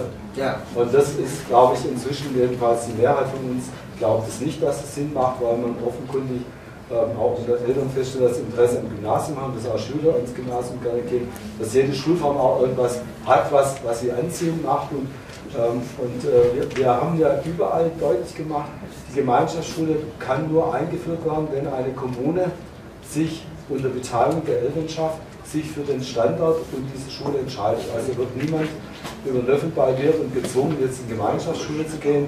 Und äh, ich will auch wirklich nochmal betonen, dass die Gemeinschaftsschule auch den Anspruch erhebt, neue Lernformen zu entwickeln, die stärker dem entsprechen, was heute Kinder ausmachen, die ja sehr viel individueller sind, sehr viel individueller aufwachsen, weil die Familien in der Regel kleiner sind und, und unterschiedlich, sehr, sehr unterschiedlich auch sind und, das, und deswegen auch und übrigens auch höchste Zeit, dass man in unseren Schulen stärker projektorientiert lernt und auch, auch äh, eben halt in unterschiedlichen Lerngruppen auf demselben Niveau äh, arbeitet. Das ist ein, das Schöne an diesem Konzept und wo ich glaube, davon können alle Schularten profitieren und den Impuls soll es auch geben. Und ich finde, jetzt müssen wir mal in den Gemeinschaftsschulen, die gibt es jetzt gerade mal drei Jahre, muss man ihnen auch Zeit geben, sich zu entwickeln und diese Impulse auszusenden. Okay, alles klar. Ihr wollt keine Gemeinschaftsschule weiter. Das habe ich man, rausgehört. man, man kann Schulen, die jetzt seit drei Jahren etabliert sind, nicht einfach wieder abschaffen. Das Nein, geht nicht. Das würden wir auch nicht tun. Man muss die Gemeinschaftsschulen erhalten, Ja. gegebenenfalls weiterentwickeln. Aber das hohe Lied auf die Gemeinschaftsschule ist bin ich etwas skeptischer. Wir haben ja Gemeinschaftsschulen in anderen Bundesländern seit vielen Jahren. Gesamtschule ist nicht Gemeinschaftsschule. Ähm, Und das pädagogische Konzept ja aber, aber so, eine, so, eine, so eine riesen Success Story war es eigentlich nirgends. Sie verbinden jetzt damit große Erwartungen und wartet mal, ob diese großen Erwartungen erfüllt werden. Was mir aber stört, ist der Zungenschlag, der ständig kommt, die soziale Benachteiligung sei jetzt aufgerufen. Als Noch nicht. Ob, als ob es vorher soziale Benachteiligung gegeben hätte. Ja, es gab schon immer soziale Ungleichgewichte, die wird es auch immer geben, wird man nicht ändern können. Aber dass jemand benachteiligt wurde, ich glaube, das äh, Na gut, das ist ja keine Glaubensfrage, darüber gibt es auch Ich Statistik, sozialwissenschaftliche Untersuchungen, ja. die deutlich machen, dass wenn man aus bildungsmäßig einfachen Verhältnissen kommt, dass es ungleich schwieriger ist, sozusagen Das ist keine zum, Frage. zum Studium Das zu ist keine kommen. Frage. Wenn man aus einem studierten Elternhaushalt kommt. Ja, Und es gibt Länder, die Dazu machen ist- es besser. Dazu sind Schulen da. Und man muss den Eltern auch das ich dran. Äh, Wir haben übrigens, weil, wir anfangs mal gesagt haben, wir hätten einfach mal die Grunderwerbsteuer erhöht. Die ist damals erhöht worden, um damit eins zu eins den Kommunen die Finanzierung von Kinderbetreuung im Vorschulbereich zu ermöglichen, weil genau dort sozusagen Bildungs, der Bildungsweg anfängt und weil wir wissen, dass schon im Vorschulbereich die Weichen gestellt werden, ob man sozusagen genügend Sprachkompetenz hat, um dann in der Schule gut zu sein. Deswegen kann man im Schulsystem schon verschiedene soziale Milieus ausgleichen und deswegen ist es auch übrigens bei der Integration von Flüchtlingen oder von Migranten total wichtig, dass sie in, in der Frühphase, eigentlich schon vor der Schule, sprachlich so qualifiziert werden, dass sie die Schule auch gut bestehen. Wenn man das nicht macht, dann hat man nämlich genau die soziale Selektion. Und das ist ja äh, übrigens in allen internationalen Schulvergleichen ist immer rausgekommen, das sind leistungsmäßig so schlecht nicht mit unseren Schülern. Aber in einem Punkt sind wir granatenmäßig schlecht, was soziale Selektion anlangt. Und das ist schon eine Hinterlassenschaft von Jahrzehnten, Dreiglied im Schulsystem, wo man sich nicht bemüht hat, diese sozialen Unterschiede eben durch, auch durch, durch äh, andere Pädagogen auszugleichen. Ich habe ein bisschen noch ein Problem mit diesen internationalen Vergleichen, ohne dass dann der Tiefe jeweils sich anguckt, aber ich habe bei Bosch sehr viel international, ich habe bei Bosch sehr viel international zu tun gehabt. Ich habe äh, für Menschen entsandt für Bosch in verschiedene Länder dieser Erde. Und wenn ich da mal unsere Situation angucke, dann muss ich einfach sagen, die Leute in unserem Land sind deutlich viel besser ausgebildet, weil wir diese internationalen Vergleiche, die, diese duale Ausbildung kommen noch auf die zurück, die gibt es nämlich nur in Deutschland, nicht nur in Österreich, glaube ich, und, und Schweiz. Schweiz nur, aber sonst gibt es die gar nirgends.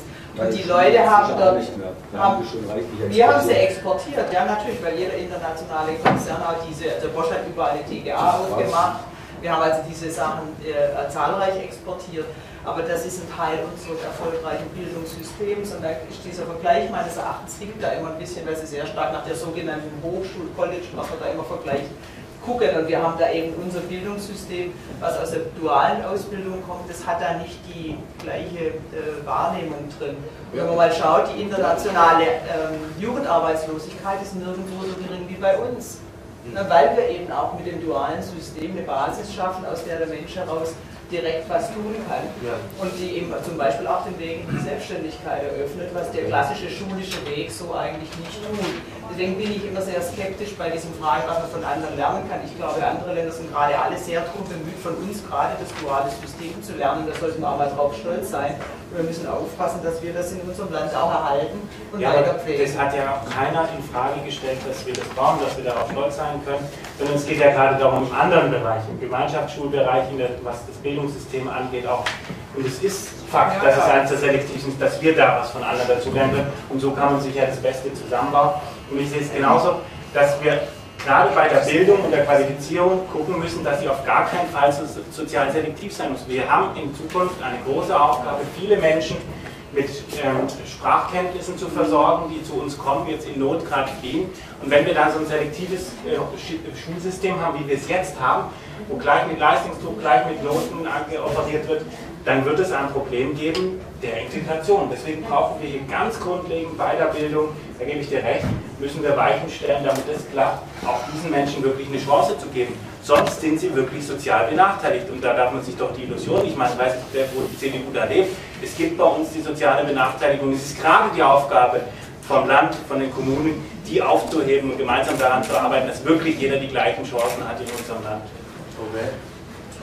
Ein Satz noch, das, das, Ja. das dreigliedrige Schulsystem, an dem die CDU so festhält, Ja. ja. was es so toll findet, gibt es eigentlich außer Deutschland nirgends mehr. In keinem Land mehr. Elle ins abschafft, weil sie sagen, das ist, vor- das ist ein Schulsystem vom 19. Jahrhundert, wo es der Arbeiterschicht gegeben hat für Volksschulen und der Mittelschicht für die Mittelschulen und der Oberschicht für die Oberschulen. Das ist wirklich von vorgestern. Aber es ist doch eigentlich nicht schlecht, wenn der einer, wo langsamer ist, vom Schlaueren lernt.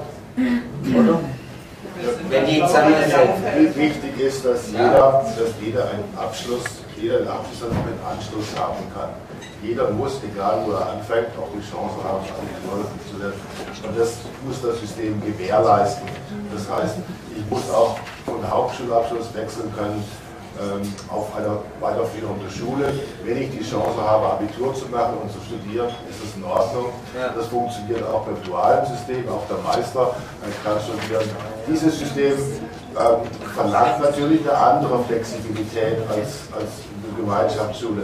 Beide Systeme funktionieren irgendwo und ich denke, in den letzten 20, 30, 40 Jahren ist Wohlstand und Wachstum passiert in diesem Land mit diesem freiwilligen Schulsystem.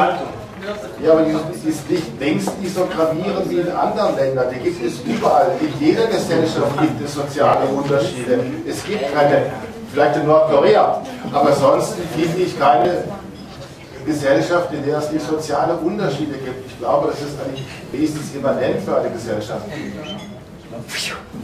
Okay. Dann machen wir jetzt kurz eine kleine Pause mit Musik von unserer Ellen Ritz. Fragen machen wir nachher. Nein, ich habe noch einen Kommentar dazu. Kommentar. Wir haben heute das große Problem, dass die Industrie letztendlich eine höhere Ausbildung fordert für die Anstellung.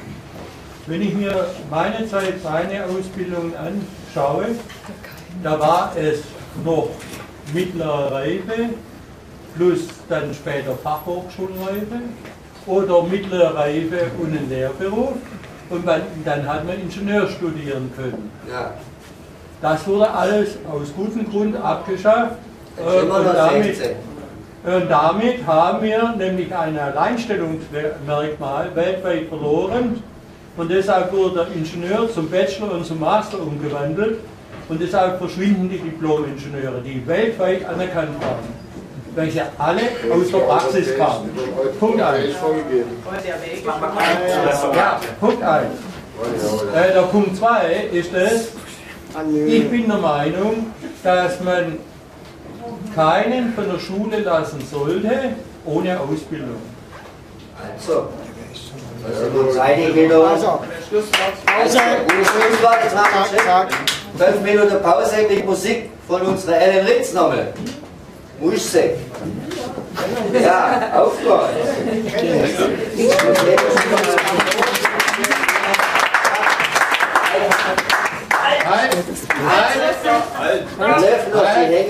Löffler, sie hängen. Löffler, sitzen bleiben. Schulthema. So, ich habe mir was überlegt, nachdem der Thomas mich angesagt hat als Ja. Janis Joplin, Ja, ja, bitte.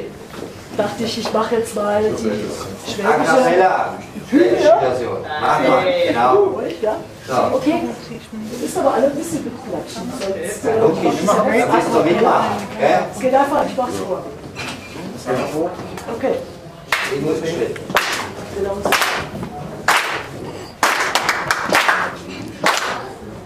Oh Lord, would you have me ever say this praise? My present apology, I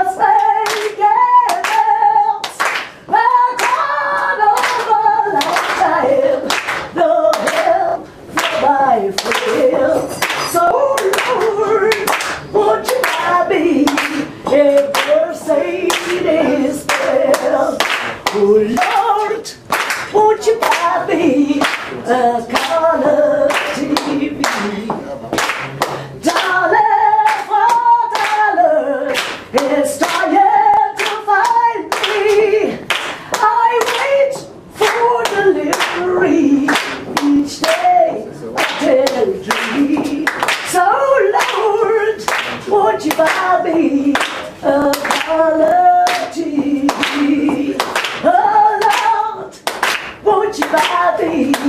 Ee,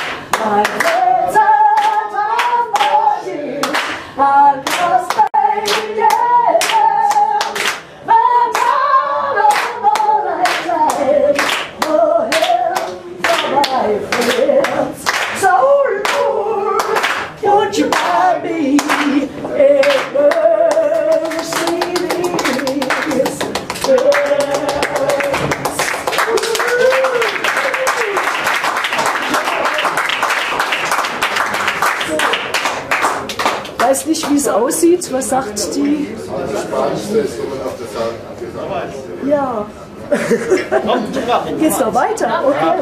Okay, also gut, dann, dann machen wir das, was den halt. Wie lange machst du das Mikro? Achso, ich brauche ja noch. einem einfachen Thema. Stunde angemessen. Tja. Wollen wir in die Vergangenheit will oder einheitliche Meinung drüber? Tut's noch? Ja, wir haben ja noch einen super Pianist eigentlich äh, angesagt, aber der ist immer noch nicht da, deswegen mache ich jetzt halt alles von der Konserve. Ja, zum Glück gibt es das auch. Ja, es muss halt nur noch putzen. Aber gut, wir haben ja Zeit, oder? Okay, Spannung. Spannung. Jetzt. Jetzt. Sind wir schon wieder da. Also es hat hier einen Wasserschaden gegeben. Auf eine schöne Zukunft. Ja. Eine Super. So, jetzt haben wir natürlich noch ein paar andere Themen auf, dem- auf dem Plan. Achso, Sie jetzt nicht. Ja, alle, ja, jetzt kommen wir zum lieben Wilfried Hermann. Jetzt kommen wir zu seinem Steckerpferd. Er ist Verkehrsminister, jetzt geht es um den Verkehr. Vernetzung und so weiter und so fort. Wie weit, was sind hier, was hier in den letzten fünf Jahren Weg gebracht? Was hat nachgehauen? Und was ist in Groß gegangen, sage ich mal so. Ein kurzer mal Überblick was hat er geschafft und wo, wo, wo hat es halt ein bisschen geglänzt oder nicht so, wie Sie sich vorgestellt hätten? Also, im Großgang ist überhaupt nichts, sondern wir haben, ähm, glaube ich, ähm, ein klares Konzept gehabt. Wir haben gesagt, wir wollen eine andere Verkehrspolitik machen, eine, die nicht nur auf Straßen und Autos setzt, sondern wir wollen eine moderne Verkehrspolitik machen, die alle Verkehrsträger betrachtet, die alle Verkehrsträger besser macht, umweltfreundlicher macht, klimafreundlicher macht, die Verkehrsträger untereinander besser vernetzt, die anerkennen, dass wir ein großes Verkehrsnetz in Baden-Württemberg schon haben, dass das Hauptproblem. Nicht ist, dass wir noch viel neu bauen müssen, sondern dafür sorgen müssen, dass das vorhandene Netz noch weiter funktioniert. Also war dringend notwendig, dass wir es sanieren, denn wir haben einen riesigen Sanierungsstau da übernommen. Und äh, wir haben in den letzten fünf Jahren, man glaubt es kaum, mehr Geld ausgegeben als je zuvor, aber nicht, weil wir sozusagen ins Ländliche investiert haben, sondern weil wir so viel nachholend sanieren mussten. Ja, deswegen muss ich da immer ein bisschen lachen, wenn die CDU meint, man hätte nichts getan. Wir haben wirklich buchstäblich die Hinterlassenschaften des Nichtstun abgearbeitet. Zahlreiche, zahlreiche Straßen saniert und wir haben trotzdem auch noch neu gebaut. Und wir haben sowohl auf Bundesebene alle Mittel abgerufen und es auch umgesetzt. Und wir haben heute ein Volumen, äh, das etwa pro Jahr eine Milliarde ist, was wir als Landesministerium umsetzen, alleine im Bereich Straßenbau. Wir haben trotzdem uns gekümmert um den Ausbau des ÖPNVs, wir haben uns auch gekümmert um den Ausbau von Schienenwegen. Wir haben uns nicht nur auf Stuttgart 21 konzentriert, sondern das war klar. Naja, also ich meine, äh, wir haben diese Koalition begonnen im Streit zwischen zwei Parteien, die eine wollte Stuttgart 21 und die andere nicht. Ja. Aber wolltest im das Land- nicht. Entschuldigung mal, jetzt alles, jetzt, bauen. jetzt hat es mal Pause. Das war Pause. So, im Landtag, im Landtag, im Landtag, im Landtag waren 75 Prozent der dort anwesenden Abgeordneten für Stuttgart 21. Wir haben es trotzdem geschafft, dass es eine Volksabstimmung gibt, was übrigens viele Gegner von Stuttgart 21 immer gefordert haben. Und diese Volksabstimmung ist so ausgegangen, wie halt bekannt ist, es gab keine Mehrheit für den Ausstieg aus diesem Projekt. Und dann hast du als Landesregierung dich gefälligst dran zu halten, denn eine Volksabstimmung hat gesetzgeberische Wirkung. Damit kannst du zwar weiter protestieren, das kannst du machen, auch wenn der Bahnhof schon fertig ist.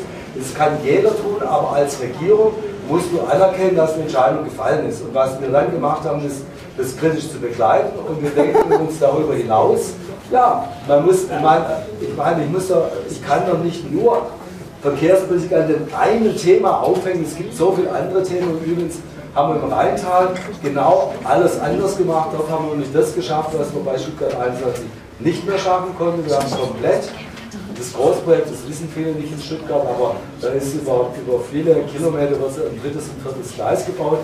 Doch genauso bekämpft wie Stuttgart 21 hier, nur dass sich dort die Bürgerinitiativen mit den Kommunen, mit den Landräten, mit dem Land, mit dem Bund und mit der Bahn zusammengesetzt haben und wir die gesamte Trasse umgeplant haben, anwohnerfreundlich, lärmschutzorientiert, klimageschützt. Das haben wir vorangetrieben in einem fünfjährigen Dialogprozess und heute haben wir einen Beschluss vom Bundestag und vom Landtag, dass wir das so machen, das ist auch finanziert. Also, das ist eine Konsequenz, die wir gezogen haben, um zu zeigen, was wir alles gemacht haben. Es gibt weniges, was wir nicht hinbekommen haben, aber das Ja. liegt zum Teil daran, weil man in der Verkehrspolitik nie alleine unterwegs ist, weil das Land ja zwischen Bund und zwischen Kommunen und, und, und es sind die Kommunen, die was wollen und weil man natürlich auch verschiedene Parteien hat und weil Verkehrspolitik extrem, das ist wirklich was mit, äh, was mit dicken Bretter zu tun hat, weil man, weil man sehr viele Prozesse langwierig äh, hat laufen. Allein dieser Beteiligungsprozess hat eben fünf Jahre gedauert. Aber also ich, ich habe ja gar nichts dagegen, ähm, dass ihr versucht, eine andere Verkehrspolitik zu machen. Aber es ist ein Versuch. Ich sage das jetzt wieder, wir sind kandidieren jetzt hier in Stuttgart. Jetzt schau dir in Stuttgart. Diese Stadt, diese Veranstaltung, Hauptstadt, die schafft es immer noch nicht, ihre Ja, Bürgerinnen und ich Bürger. bin ich nicht als dran, jetzt ist für dich. Pause, oder? Ja, ja. wenn dann, also wenn ich dann, ich war jetzt auch geduldig. Ja, Ich Stuttgart. Also, aber es ist auch an der Stelle wieder das gleiche Bild. Die Landesregierung bemüht sich, aber ich glaube, nur vorne, das keine Missverständnis, es ist alles tausendmal besser wie bei der CDU. Das ist ja gar nicht mein Problem, ja, also vorneweg gesagt, ja. Aber Was, tausendmal besser tausendmal besser wie bei der? CDU ist es in der Verkehrspolitik, aber es reicht noch nicht. Und das sage ich jetzt in der Verantwortung. Hier, wenn wir die Bürgerinnen und Bürger wirklich vor Lärm, Dreck, Feinstaub und in Zukunft Stickoxiden äh, schützen müssen, müssen wir deutlich mehr machen. Und da gab es Konzepte, wie zum Beispiel die Nahverkehrsabgabe. Das sind zu sagen, gibt es das jetzt, gibt es das jetzt nicht? Wir müssen unseren Nahverkehr langfristig anders finanzieren. Ich sage das jetzt mal aus der Stuttgarter Perspektive. Uns fehlt im öffentlichen Nahverkehr, gerade in Stuttgart, massiv das Geld für die Beschaffung von Bussen, von neuen Straßenbahnen, für den Ausbau des Nahverkehrs. Wir kriegen das so nicht hin, wenn wir nicht von Landesseite aus noch massiv hier investieren. Es ist richtig, dass man in der Fläche auch was getan hat, aber wir müssen es auch in den Ballungszentren machen, wo wir genau dort die Bürgerinnen und Bürger heute mit zu viel Autoverkehr belasten. Da ist meiner Meinung nach zu wenig passiert. Ja, Jetzt zu ist Stuttgart der 21. CDU, CDU tust doch da ein bisschen recht, oder? Wenn du siehst, das ist- die CDU, also ich meine, wer ein Werbeplakat macht, wo der hinter, hinterm Wolf sich Straßen ausrollen, also das ist sowas von gestern, das kann man sich doch gar nicht mehr vorstellen. Also, jetzt lassen Sie uns lieber über die Schiene reden und das zu Stuttgart 21. Wiener, du hast mal klar gesagt, du wirst dieses Projekt nicht bauen. Jetzt baust du dieses Projekt, okay. Baust immer noch nicht. Ja, also, der Bauherr. ja, dann war das ein lustiger Spruch von dir damals. Aber du weißt genau, was die Gegnerinnen und Gegner von Stuttgart 21 da für Hoffnungen einfach hatten. Und das ist schon schlicht enttäuschend. Und an der Stelle, eine Volksabstimmung, ja, eine Volksabstimmung, die kann man nicht so machen wie diese Volksabstimmung. Die Tatsachen, und das hat, das hat der Professor, der Verfassungsrechtler, Professor Meisel, der die Volksabstimmung erfunden hatte, im Auftrag der SPD, hat gesagt, nach den Kostenexplosionen, die jetzt gekommen sind, ist diese Volksabstimmung obsolet. Und das ist das Schöne, in einem, nicht mehr. In einem Rechtsstaat gibt es eben nicht nur einfach das Prinzip der Mehrheit, sondern es gibt auch das Prinzip der Verfassung. Wenn ein Verfassungsrechtler sagt, man muss sich an so eine Volksabstimmung nicht mehr halten, und sie hatte nie Gesetzeskraft, weil nämlich genau das Gesetz das einzigste gewesen wäre, das wäre das Ausstiegsgesetz. Das ist nicht gekommen. Damit gab es keine Gesetzeskraft, sondern eine politische Kraft, ja, die immer wieder postuliert wird. Und diese politische Kraft hat sich auf jeden Fall nach den Kostenexplosionen und du weißt es sogar noch besser, bei den Leistungsinklusionen dieses Projektes komplett erledigt. Und da will ich dir einfach helfen in der Landesregierung, also nicht in der Landesregierung, also im ähm, Parlament helfen, dass du wieder der Stuttgart 21 Gegner warst, für den wir dich auch damals gewählt haben, ich euch auch gewählt habe, weil das kann nicht sein, dass man jetzt einfach bei all den Problemen von Brandschutz, von Leistungsdaten, von Kostenexplosion dieses Projekt so durchzieht, wie zum Status damals der Volksabstimmung. Es ist nicht mehr das Projekt der Volksabstimmung. Und deswegen darf man es heute nicht bauen. Aber wie viel Volksabstimmung Man könnte ja irgendwann anfangen, gar nichts mehr zu machen, wenn man ständig mit Ja, bei manchen Projekten ist es besser. Ja, aber bei denen Herr Lefter. Also diese Bibi Langstoff-Politik hier, die finde ich immer merkwürdig. Ja, das ist schon. Das hat damit nichts zu tun, das sind Fakten. Es entspricht nicht meiner Rechtsauffassung, also muss es falsch sein. Die, Volks, die Volksabstimmung ist passiert, da hält sich jetzt äh, der, der mit Verkehrsmitteln alles völlig in Ordnung. Da ist das- passiert. Dass das Projekt nicht fördert, ist ein anderes Problem. Aber S21, meine Meinung, ist ein verdammt gutes Projekt. Deshalb, nein, es ist deshalb gut, weil es, die, weil, es die, weil es die Leute von der Straße wegbringt auf die Schiene. Das Gegenteil ist Und natürlich ist das nicht Und weil wir 100 Hektar Land bekommen, die sie für ihren sozialen Wohnungsbau nutzen können. Ja, jetzt kommt das doch geschwätzt. Ja, brauche ich mal. Da kann man niemand andere arbeiten. Was ihr da abzieht, das ist doch eine reine pseudo-religiöse Tätigkeit da in diesem Veranstaltung. Das Ding ist, ist entschieden worden in allen Parlamenten, es ist entschieden worden, es ist entschieden worden von den Gerichten.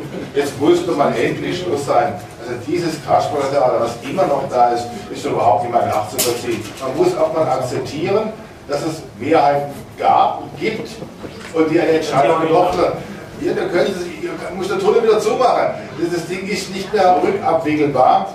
Das muss man auch, weil das gehört auch zum demokratischen Verständnis, dass man Entscheidungen, die man nicht mitträgt, gegen die man ist, vielleicht aus guten Gründen ist, aber dass man die einfach als gegeben annimmt. Das ist halt mal so. Ich mache mal ein Beispiel, dass dieses Prinzip in der Demokratie komisch ist. Mehrheiten ändern sich, ist gut so. Die FDP hätte sich auflösen müssen, nachdem sie aus dem Bundestag rausgeflogen ist, wenn sie nicht wieder um neue Mehrheiten oder neue Stimmen streiten würde. Also, wenn man in der Demokratie einmal eine Abstimmung verliert, dann heißt das nicht, dass die auf immer zementiert werden muss. Und schon gar nicht, wenn das Projekt weder fertig geplant ist, noch fertig finanziert ist, noch fertig genehmigt ist. So ein Projekt kann doch kein Ewigkeits... Aber in Deutschland kannst du überhaupt keine Großprojekte Ja, mehr voranbringen. Wozu braucht man sie denn?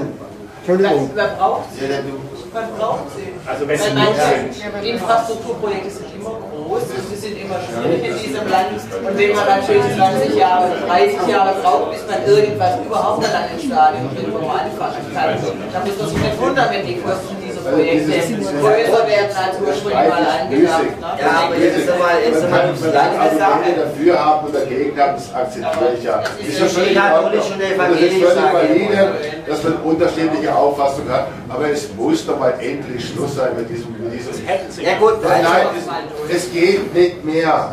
Die, die Lecker sind gebohrt. Du bist nach Holm hier auch. Was willst du denn machen? Wasser reinfüllen?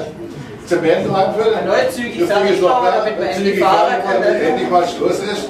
Man, man nimmt euch sonst politisch nicht mehr ernst. Es ist fast schon hier eine Witzfigur, die, die da montags da ihr, ihr, ihr Kasperler-Theater Also macht. man muss immer aufpassen Nein, ist das- mit Wählerbeleidigung. Ja, das, das ist, das ist ein Witz. Ja. Das ist ein Witz. Ich habe kein Problem, dass man gegen protestiert, das ist in Ordnung, aber es ist jetzt vorbei. So, aber ich möchte nochmal zurückkommen, was der Das Herr ist ein Verkehrs, also was, was machen wir jetzt fürs Land? Sag ich mal, Also, die Ja. Grünen haben es ja versprochen, sie führen es nicht fort. Sie haben es doch fortgeführt, weil sie sich einer Volksentscheidung gebeugt haben. Ja. Das war richtig. Und damit ist auch hier ja der Wähler der Mehrheit rechtens. entsprochen worden. Ja, nicht gut. Jetzt Also- kann man sagen, das Ding fehlt mir immer noch nicht, ist auch in Ordnung. Ja. Aber man muss das eben umsetzen und durchführen. Und mehr erwarte ich eigentlich auch gar nicht. Ich erwarte, also jetzt einen Stopp zu machen, ist also schon. Waren die Kosten denn real bei der Volksabstimmung? Ich weiß es nicht, darauf kommt es doch gar nicht an, weil Natürlich, das ist doch Entscheidungsgrundlage. Genau, Ja, das kommt an. Nein, darauf kommt es nicht Doch, an, weil solche Kosten ist im kannst du Gesetz nicht auf Märkten machen. dass es nicht wenn mehr wie kosten. war doch die Frage. Sechs Nein, es gibt kein Gesetz 6,9 drüber, was es genehmigt worden und bei der Bahn sind es jetzt schon Dann 15 hört man Milliarden. halt bei 6 Milliarden auf und der Zug bleibt dann irgendwo vor Ulm stehen. Genau. Ne, macht ja keinen Sinn. Ne, es gibt kein Projekt, das nun wirklich immer punktgenau gelandet werden kann. Auch private Projekte. Aber nicht der dreifache Kreis. Auch private Projekte nicht. Es wird einfach nicht funktionieren. Äh, Im Übrigen äh, weiß ich gar nicht, ob, ob das nicht wirklich hier ein Preisrahmen ist. Also ich behaupte das jetzt so, aber das muss man hingestellt sein. Äh, bin ja hier auf Feindesland. Aber ich glaube, man soll sich anderen, man soll sich anderen, Zielen äh, widmen jetzt, außer S21 zu bekämpfen. Ich glaube, das verkreuzt eine ganze Menge Energie, die es nicht bringt. Und da gibt es wichtigere Themen, denen man sich widmen muss. S21 haben jetzt alle Parteien im Landtag akzeptiert. Gut, das Bellen, die Grünen, äh, die Linken ein bisschen hinten, sollte es. Deswegen müssen die in den Landtag, da haben Sie Äh, recht. ja, wird auch nicht viel passieren. Und äh, mit Sicherheit auch nicht viel passieren. Vielleicht kommt er ja sogar rein. Äh, aber ihr werdet, ihr werdet den Hebel auch nicht mehr umlegen können. Wenn man das Leuten, den Leuten sagt, dann lügt der schlechter. Also Nochmal, aber an der es gab- Stelle, es das, gab- es klang gab wie eine Unterstellung gerade. Das kann lasse ich nicht stehen. Also das sagt keiner. Das Entscheidende ist, dass es wieder Stuttgart 21 Gegner da drin gibt. Die, Argumente, die Sie hier bestreiten, und man sieht ja, wie notwendig es ist, dass Zahlen, Fakten endlich wieder in den Landtag kommen, dass die wieder im Landtag eine Rolle spielen, weil man kann bei diesem Projekt nicht so Wir tun, warten auf so euch. auf Wir warten auf euch, dass endlich die Wahrheit kommt. Nein, darum geht es nicht. Sondern es geht geht darum, um die Wahrheit? Nein, es geht um Was, Zahlen und Fakten ja. in dem Punkt. Gut, was ich sagen Ja. Wahrheit? Nein, das ist ein. Unterschied. Aber wir sind Ja. nicht im philosophischen Sinne. Okay, Ja. gut. Ja, also, Können wir uns vielleicht mal auf ein anderes Thema, Verkehrspolitik. Ja, wir wollen ja entscheiden nicht über Ja, Stuttgart ja, ja, ja, 21. Ja. Nein, aber Alles, du bist ja weit genug, dass du Stuttgart Stuttgart ausdenken kannst. Natürlich, Jetzt lässt du ist- mal die anderen reden, dass die mal sich zur Verkehrspolitik äußern. Genau. Das ist doch der, das zentrale Stück, ist der Knoten der Landeshauptstadt des Stuttgart 21. Eine Verkehrswende gelingt dir nur, wenn du einen leistungsfähigen Knoten hast, der integraler Bestandteil eines klugen Netzes ist. Und du kannst nicht das leugnen, dass dazu es einen intelligenten Kopfbahnhof braucht, der umstiegsfreundlich ist, sonst kriegst du das mit Ich dem sehe nur, dass du immer und immer wieder auf dasselbe Thema Nein. kommst. Es ist zu eng gefasst. Ich will im Verkehrspolitik Netz musst du investieren weiterdenken. statt Stuttgart Wir 21. haben Wir ein Konzept, wie wir ausbauen. im ganzen Land Ja. den Stundentakt einführen. Wir, und zwar nicht nur auf der Schiene, sondern auch auf der Straße. Wir Ja, wollen das warum auf als- der Straße? Als ja, ÖPNV, Straße gibt es auch. Es gibt nicht nur Schiene. Busse, Und ja. übrigens werden an Also ein Bahnen Land davon, ausgebaut. Wir bauen die Südbahn aus, die Busse, wir bauen die die Bahn sich aus selber und so weiter. machen mit Bussen. Das ist einer der größten Probleme. Also da erwarte ich von dem Grünen schon mehr. Ich habe nichts gegen Postbus oder sowas, aber dass die Bahn inzwischen Busse einsetzt und sich selber mal ihr Bahnverkehr nicht mehr funktioniert, das kann ja nicht sein. Ja. Also ich habe mich jetzt zur, Wohnungs zur Wohnungspolitik nochmal so äußert, weil Ja, das Ding, das irgendwas mit dem Verkehr zu tun hat. Irgendwas mit Ja, das hängt eigentlich alles irgendwo Verkehr zu, zu tun hat. Wir haben sicher die Situation, dass wir immer mehr Leute haben, die außerhalb der Stadtgrenzen von Stuttgart und auch außerhalb von der Region noch bezahlbaren Wohnraum finden. Ja. Aber die Verkehrsanbindungen sind Außerbahn, auch für die wenigen S-Bahn-Haltestellen verdammt mies. Deswegen ist das eigentlich der richtige Weg, den öffentlichen Nahverkehr fünf Jahre an der. Regierung, was habt ihr denn gemacht? Aber in fünf Jahren schaffst du doch nicht äh, viele neue Ich sag so, in 50 Jahren, muss- die, weil ihr ständig die sagt, doch die CDU hinterlassen Ach, ist doch Was habt ihr denn auf doch den keine Weg billige gebracht? Polemik jetzt, macht doch keine billige Was Polemik. hat er denn Wer auf- was hat zuständig er für für die, gebracht? S-Bahn? Da ist- die. Region zuständig, da ist die Stadt Genau. Stuttgart zuständig und die brauchen natürlich auch das Geld. Da ist auch- das Geld von hat auch der da möchte ich aber erstmal die, die Planungen hören von der Region, was also an zusätzliche Verdichtung kommt, was an besserer Vertaktung kommt, was an zusätzlichen Strecken, Strecken kommt und gebaut werden soll. Und dann kann das Land und muss das Land das Geld gerne hergeben. Aber der, der Stau, der immer dichter wird in Stuttgart, natürlich auch verbunden mit der Luftbelastung, die wir, die wir in Stuttgart haben, hängt es auch damit zusammen, dass immer mehr Menschen in der Region wohnen, in die Stuttgart äh, hinein wollen und der öffentliche Nahverkehr nicht entsprechend ausgebaut wird. Das halte ich für das ent- zentrale Thema, nicht äh, das Thema Stuttgart 1. Das haben wir Periode der- diese- in- im Stadtrat linke Mehrheit. Das haben die hinbekommen. Jetzt haben wir fünf Jahre grün-rot gehabt. im Land, was haben die hinbekommen? Ein anderes Konzept wird hier gesagt. Ich weiß, ich habe keinen Verstand, was für ein Konzept. Herr Löffel, das ist Ihr Problem, dass Sie fünf Jahre im Landtag gucken und nichts gemerkt haben. Ist wir haben, wie oft haben wir im Landtag darüber diskutiert, dass Sie einen Verkehrsvertrag von der CDU uns hinterlassen haben, der bis zum Ende 2060 gilt.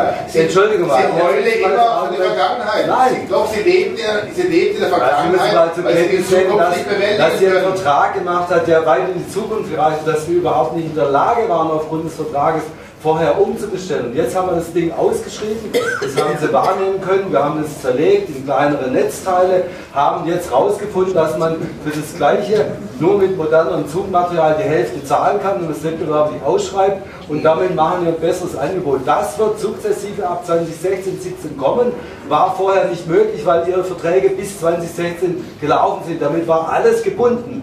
So, deswegen konnten nichts ändern. Dann haben sie nicht zur Kenntnis genommen, dass wir beschlossen haben, wir bauen die, die U6 aus, haben alle die Finanzierung bereitgestellt, die U5, die S-Bahn 2 Verlängerung. Dann haben wir mit der Region einen ÖPNV-Pakt geschlossen, der sukzessive realisiert wird.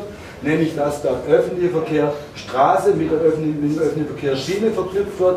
Wir haben zum Beispiel, vermutlich haben Sie es nicht gemerkt, weil Sie zu wenig Straßenbahn fahren, wir haben Echtzeitinformationen an den Also wenn- wenn man- wenn man ein bisschen Haltepunkten, in den Bahnen, kann man das, kann man das alles feststellen, was man sehen kann. Nur weil ich sage, man sieht gar nichts, sind nur Konzepte, es sind sehr viele Dinge. Ich habe Auch nichts gesehen, Stuttgart. Stuttgart ist immer noch eine Problemstadt.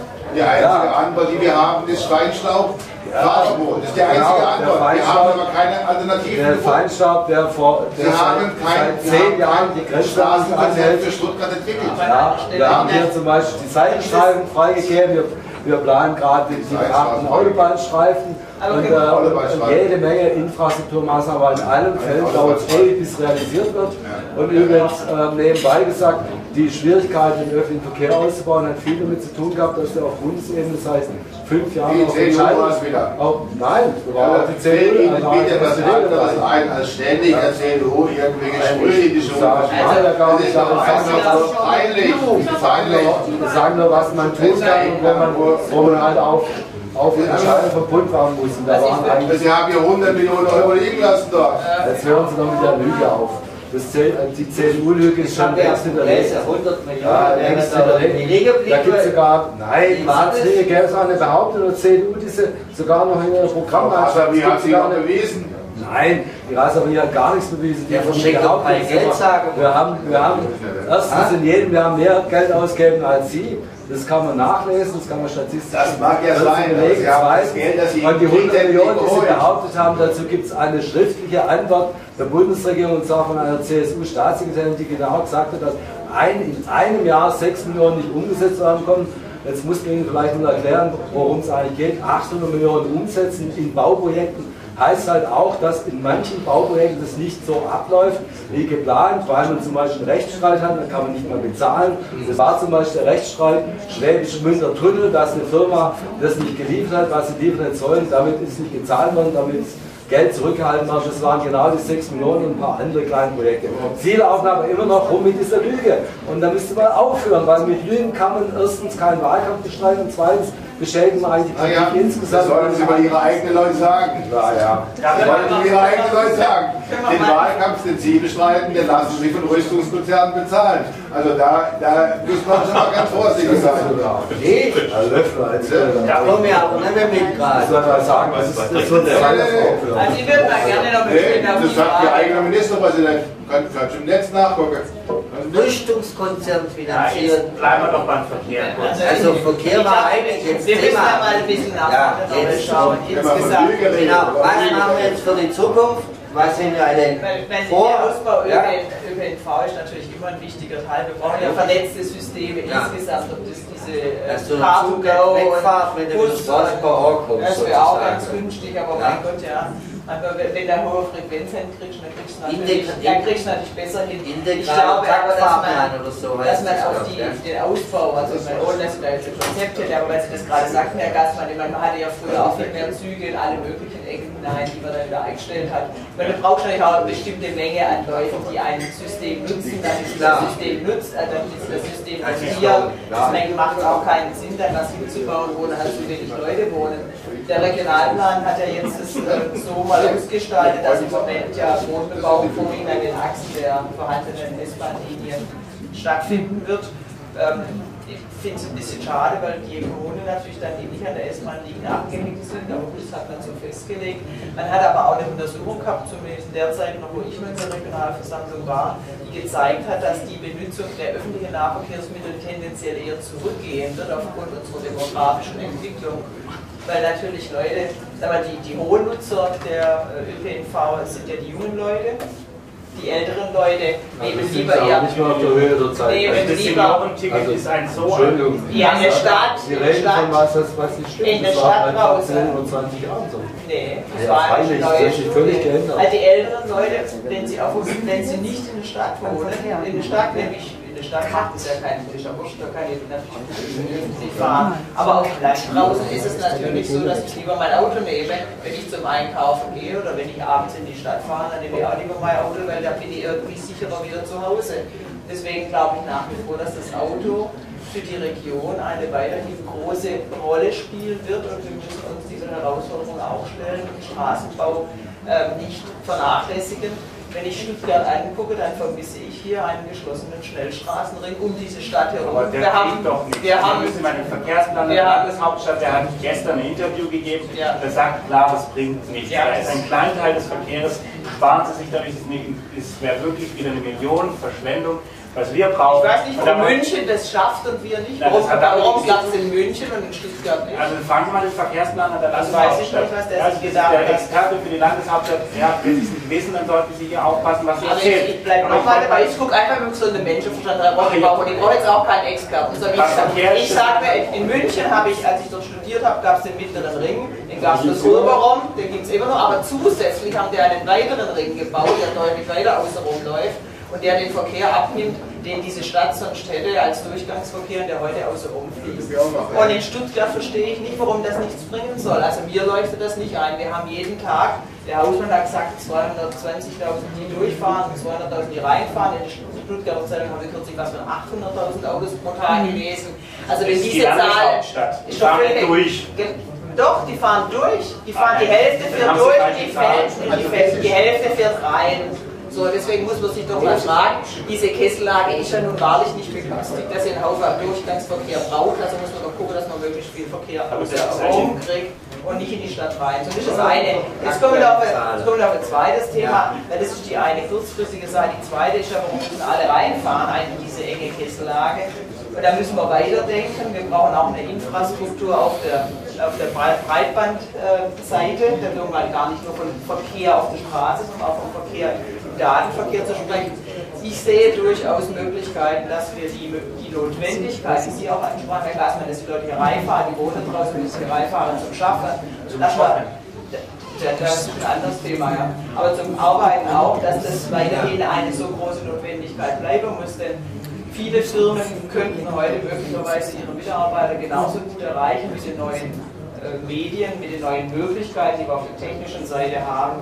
Wenn die draußen, sage ich jetzt mal in Schorndorf, in was sind wir da, also außenrum, wenn wir den Kreis um, um den Region Stuttgart ziehen, ne, dann Ja. könnte man sich ja vorstellen, dass dort Businessparks entstehen, wo Mitarbeiter verschiedenster Firmen sich treffen. Und wenn man gescheite Breitbandanbindung endlich mal hätte, und die fehlt in unserem Land, dafür wollen wir auch, dafür wollen, dafür wollen wir jetzt eine Milliarde investieren. Die Bundesregierung hat, sie, hat sich für die Kohlefaser, also heißt das, die so Kohlefaser, Die Kohlefaser, das ist Kupfer. Kupfer. Kupferkabel entschieden, genau, das werden wir jetzt raus. Genau, die haben sich für das alte System entschieden. Das ist eine Katastrophe. Er hat, er hat, er, der Ministerpräsident, hat gesagt, bei uns zählt nur Glasfaser. Sind wir uns einig, wenn wir nur Glasfaser hier Also Sie reden da ein bisschen von Sachen, die eigentlich für Baden-Württemberg nicht zutreffend sind. Weil wir, Glasfaser. weil wir in Glasfaser investiert haben, in Glasfaser ausbauen, das ist das bayerische Modell. Da müssen Sie also nicht aber- anstinken, sondern das machen wir schon. Das bauen wir der aus. Aus- wenn Sie so modern sind, dass Sie jetzt für Glasfaser sind, dann wundere ich mich, warum das Sie so einen altmodischen Vorschlag bringen, der seit 50 Jahren nicht realisiert worden ist, der Nordostring. Seit 50 Jahren wird vom Nordostring geregelt. Das ist wirklich sozusagen untäglich größtes Murmeltier, nur dass es immer vor jeder Wahl ist dass irgendeiner von der CDU oder von der FDP kommt, er hätte jetzt eine richtig gute Idee, man bräuchte einen Ring wie in München und sonst wo auf der Welt. Ja, warum ist das in 50 Jahren nicht gebaut worden? Warum nicht? Da gab es ja jede Menge andere Parteien, die Mehrheit hatten, weil es extreme Schwierigkeiten gibt, in einem diesen, Ballungsraum, diesen Ballungsraum eine vierspurige Straße durchzuführen, weil am Schluss übrigens auch Fellbach, FDP regiert über viele Jahre, die Hauptgegner dieses Projektes sind, wo man nicht durchkommt. Da kannst du ganz unter Fellbach durchtun, dann kostet das Projekt nicht 500 Millionen, sondern kostet es gleich 2 Milliarden. So, und das ist das Problem. Und deswegen hat diese Regierung gesagt, dieser Nordostring ist ein Fata Morgana, nicht realisierbar, ökologisch nicht vernünftig, verkehrlich unvernünftig und übrigens, was es gar nicht ist, weil sie nebenbei sagen, das ist mein kurzfristiger Vorschlag. Selbst wenn man das wollte, würde ich mal sagen, aus meiner Erfahrung mindestens 30 Jahre braucht, bis man das hinkriegt. Mindestens 30 Jahre. Ja? Und dann sagen sie, es wäre eine kurzfristige Lösung zur Stauproblematik. Da habe ich mich für einen pragmatischen Weg entschieden. Er hat gesagt, das wird sowieso nie kommen, das ist auch nicht durchsetzbar. Wir ertüchtigen die A8, wir geben die Standstreifen frei, wir machen eine flexible Temposteuerung. Wir bauen übrigens auch, wir flanschen übrigens auch, auch Spuren an acht Spuren, wir bauen jetzt eine achte Spur, weil ich glaube, die Konsequenz ist, weil wir keinen Ring haben, dass man schauen muss, dass man auf der Tangente einen Fluss hinkriegt und an Stuttgart vorbeikriegt. Daran kann man, glaube ich, nicht zweifeln. Und das ist aber nicht, das ist aber nur eine halbe Verkehrspolitik. Die andere Hälfte der Verkehrspolitik lautet, wir müssen dafür sorgen, dass die Leute umsteigen können. Und die S-Bahnen tragen das nicht mehr, deswegen haben wir ein Metropol-Express-Zugkonzept entwickelt, und es wird auch bereits in den jetzigen Ausschreibungen schrittweise realisiert. Das bedeutet, was Versöhnliches. Was fragen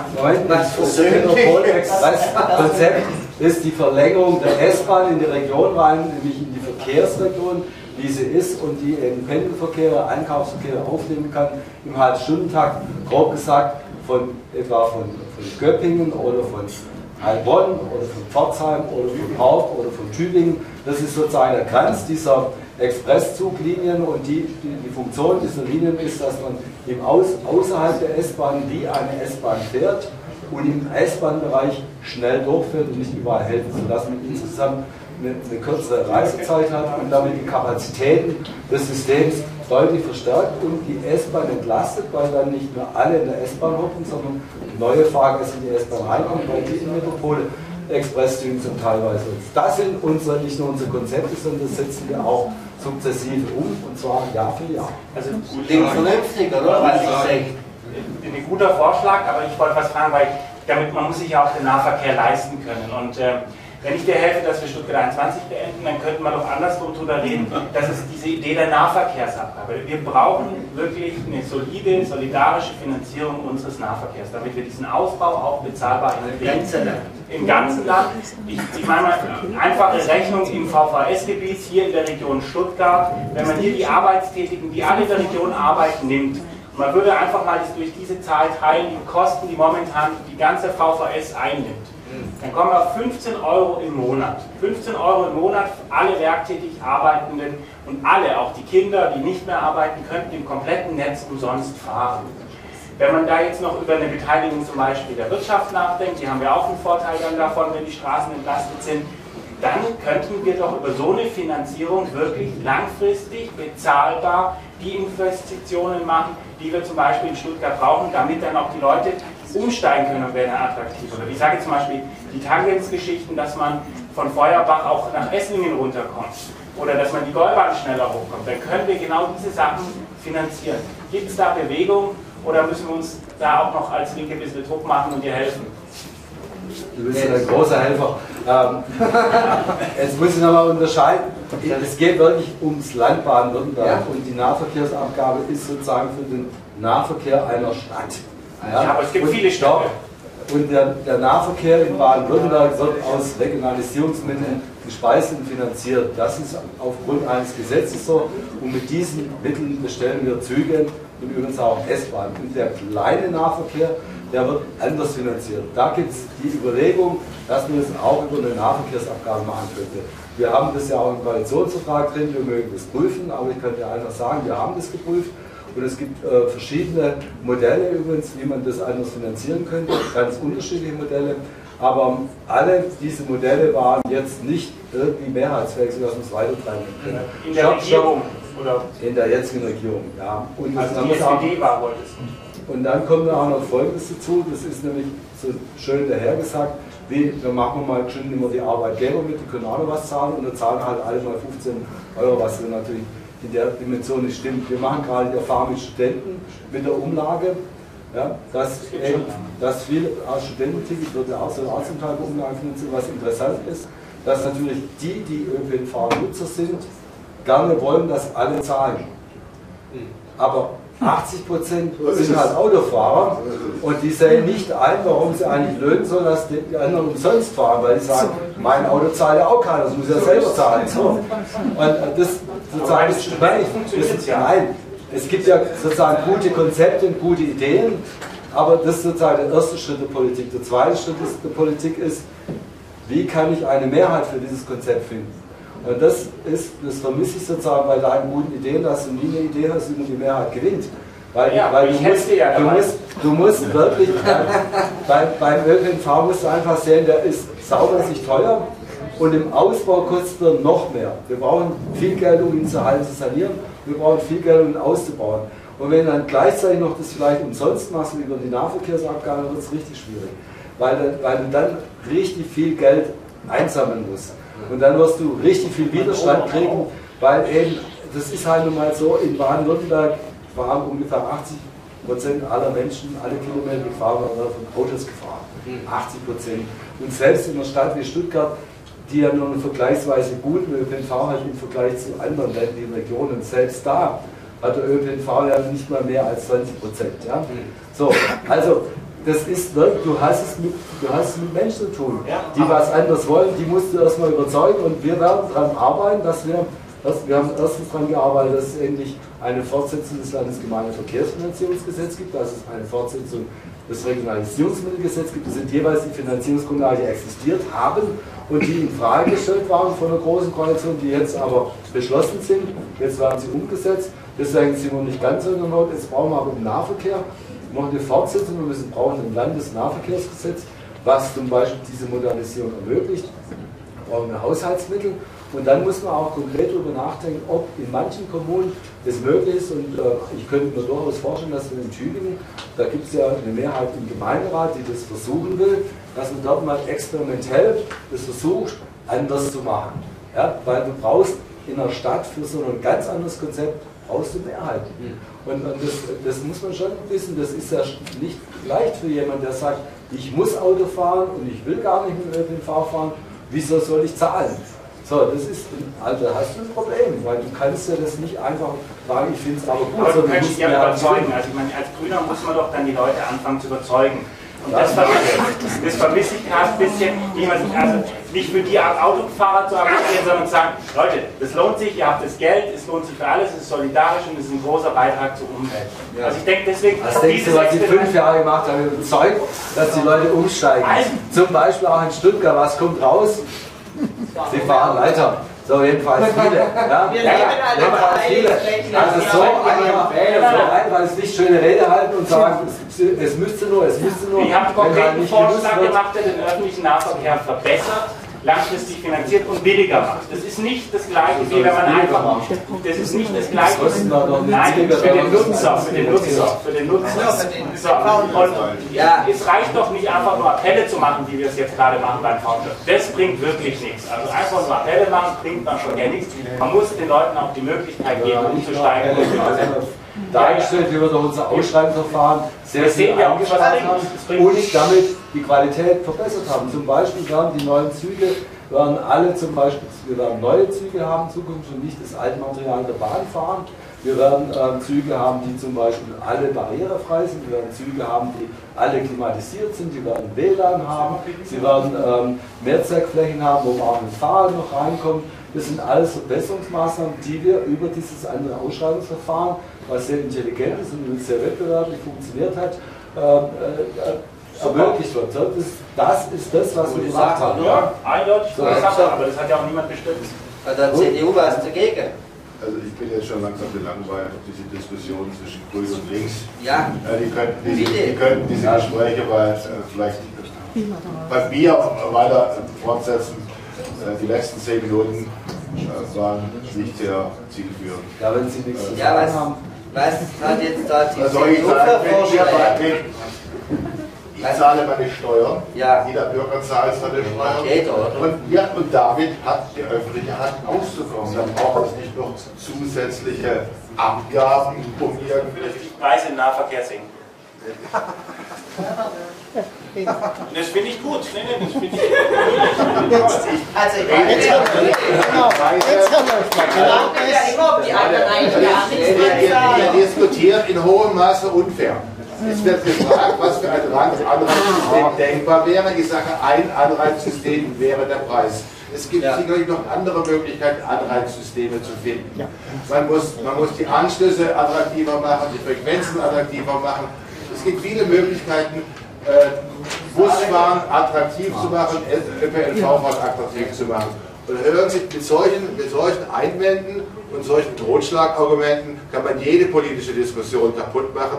Das ist nicht fair. Das ist so der Stil, dass die linke Gruppe untereinander diskutieren. Das ist nicht zielführend.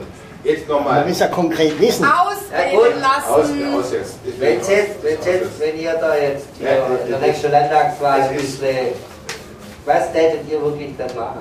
Was, dass die Leute zufriedener werden? Oder, ja, wie soll ich Mein sagen? Vorschlag ist doch gerade, den ÖPNV graduell auszubauen, attraktiver zu machen. Ja. Natürlich wird man ÖPNV nie kostendeckend machen können. Auch die Stadt Stuttgart kann das seit Jahren nicht mehr.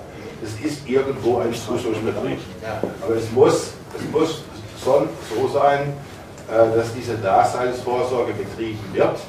Man hat ja auch mittelbare Vorteile, wenn die Stadt weniger Verkehr hat. Man muss auch Möglichkeiten finden, die Bürger zu überzeugen, ähm, auch vom Auto zu wechseln oder, oder das 2 oder 3 fahren. Äh, In Amerika, in Washington, wo ich jahrelang gelebt habe, da konnte man nur eine Fahrtrichtung reinfahren. Es gibt verschiedene Möglichkeiten, äh, die Menschen mittelbar zu überzeugen, zu wechseln. Und daran muss man, muss man arbeiten. Ähm, Und da habe ich bisher noch wenig Modelle gesehen, außer dass man die Parkplätze äh, noch teurer macht oder, oder Parkplätze abschafft. Das kann man natürlich auch machen, das ist auch ein System, um, um, um, um die Anreize zu verschieben. Aber insgesamt ist es schon richtig, ähm, den öffentlichen Nahverkehr zu stärken, gar keine Frage, den Schienenverkehr zu stärken, schneller zu machen, Metrobusse äh, ist attraktiv, da wechseln die Leute, weil sie schneller von A nach B sind, das ist klar. Also ich weiß? Grün-Rot hat eine gute Verkehrspolitik gemacht im Lande, ne? Es gibt durchaus Elemente, die ich nachvollziehen kann. Ne? Sagen, Gut, gut. aber so jemand Das ist ja völlig fair, im Gegensatz zur CDU, die die etwas richtig macht oder richtig Das gemacht hat. Freue mich noch natürlich. Das hat nicht gesagt, dass CDU freue mich noch ein, dass manche Gedanken, dass ich manche Gedanken durchaus nachvollziehen kann und weiterentwickeln könnte. Ich glaube, das ist doch auch fair. Politik ist doch nicht immer das Fahren auf, aufeinander zu und das dagegen halt. Das muss doch eine Kooperation, auch ein Miteinander sein. Und, ja, und, Ja, dann. ja, muss es auch sein, mit allen Unterschieden und allen Diskussionen.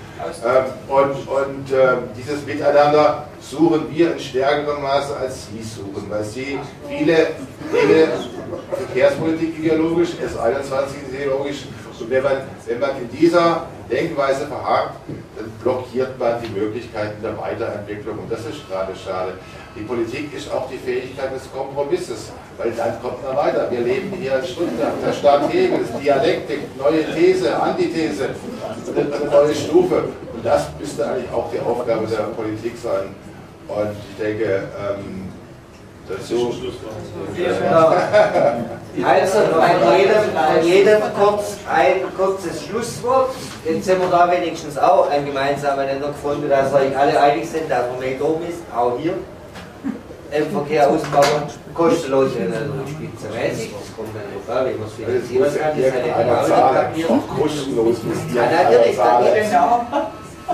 da gibt gibt's ja viele Spender, wenn Sie schon sagen, hier teilweise, da, er kriegt von irgendeinem Richtuskonzern seinen Wahlkampf finanziert, wieso soll ich mich nicht einmal für eine Straßenbau was Frage, fragen Sie doch. Ah ja, Frage. wäre doch mal eine Idee. Ja, Und, so, ja. ja. die mal fragen, die haben ja beste Ja. Connections dazu. Ansonsten hier keine Parteispende, dafür zahlst du hier uns mal hier hier Haltestelle oder ein neues Ziegel. Zum Beispiel. Ja, dann kann man da außen drauf schreiben oder irgendwas weiß ich. Ja, aber wäre ja auch mal eine, Kooperation mit den, mit den Pulverhändlern. Hier, Fernseh, Heckmann. Oder? Oder Deal. Den, den der Pulver rauszieher, die wollen hin. Ja? Und mal in, nicht, nicht bloß in Spender oder was weiß ich, so denken vielleicht wirklich gerade so, ja, ich habe eine Straße gebaut. Aber mir fehlt der nämliche Pulver, wie sieht's aus? Können wir ja einfach mal blöd fragen, sag ich mal. Mehr wie neu sagen kennt ihr ja nicht. Und wenn ihr das attraktiv findet, dass Ja. seine Firma auch wieder irgendwas gesagt, ich weiß ja dann, Im Westen wäre wie immer, dass wir Züge äh, bewaffen müssen. Ah ja. Würde ich mal sagen, das brauchen wir nicht. Ähm, aber mal jetzt im Ernst zum Zurückkommen, Ja. ich glaube nicht, dass es möglich ist, dass man den öffentlichen Personenverkehr, ob jetzt im Nahbereich oder im etwas größeren Bereich, ähm, dass man den umsonst kriegt. Man muss ihn finanzieren, egal wie, aber man muss es finanzieren. Deswegen bin ich übrigens auch nicht für, äh, für günstige oder gar für Nulltarife, weil das die Illusion nährt, das wäre kostenlos. Das kostet auch einen Haufen Geld. Vor allem die Modernisierung und der Ausbau kostet einen Haufen Geld. Was wir brauchen, das ist, dass wir auch in der Gesellschaft, in der Gesellschaft ähm, mehr Bewusstsein schafft, dass es notwendig ist, dass eine moderne Gesellschaft, die viel Verkehr hat und ihn umwelt- und klimafreundlich abwickeln will, dass man dafür dann auch mehr investieren muss, damit es gelingt und damit wir bessere Angebote haben. Insofern ich für die Modernisierung dieses Verkehrs. Mein Leitbild bleibt die nachhaltige Mobilität, dass wir mobil bleiben, zwar auf Dauer, aber nicht zulasten der Umwelt und zukünftiger Generationen. Klasse. Herr Gassmann, Ich bin mit dem Verkehrsminister fast einer Meinung, bis auf den letzten Punkt, äh, dass man das nicht günstiger machen kann. Man muss zumindest mal gucken, welche Gruppen besonders äh, belastet sind. Äh, Jetzt hat die SPD den Antrag gestellt, allerdings jetzt kommunal, dass im VVS die Auszubildenden ab September ein günstigeres Ticket kriegen und nicht über 100 Euro von, von ihrer 600 Euro Azubi-Gehalt äh, für den Verkehr ausgeben sollen. Das steht dann im April steht es zur Diskussion im Aufsichtsrat. Ich hoffe, dass da die andere Parteien auch mitmachen. Aber es war jetzt auch als Schlusswort äh, geplant. Ich finde, dass die SPD für das, was sie in der Landesregierung sowohl in der Wirtschaftspolitik als auch in der Schulpolitik als auch in der Sozialpolitik gemacht hat, äh, in den letzten fünf Jahren ein bisschen unterbewertet gerade ist. Die Grüne strotzt vor Graf, das finde ich nicht schlecht. Äh, die meisten wollen ja, dass der äh, Kretschmann weiter Ministerpräsident bleibt, aber ich sage dazu, ohne dass es die SPD noch ein bisschen stärker wird, längst nicht. Deswegen wählt auch SPD. Also. War recht gut, ja, von der FDP. Was generelles oder was? Ja, was generelles? am Herzen, wenn Sie jetzt da reinkommen?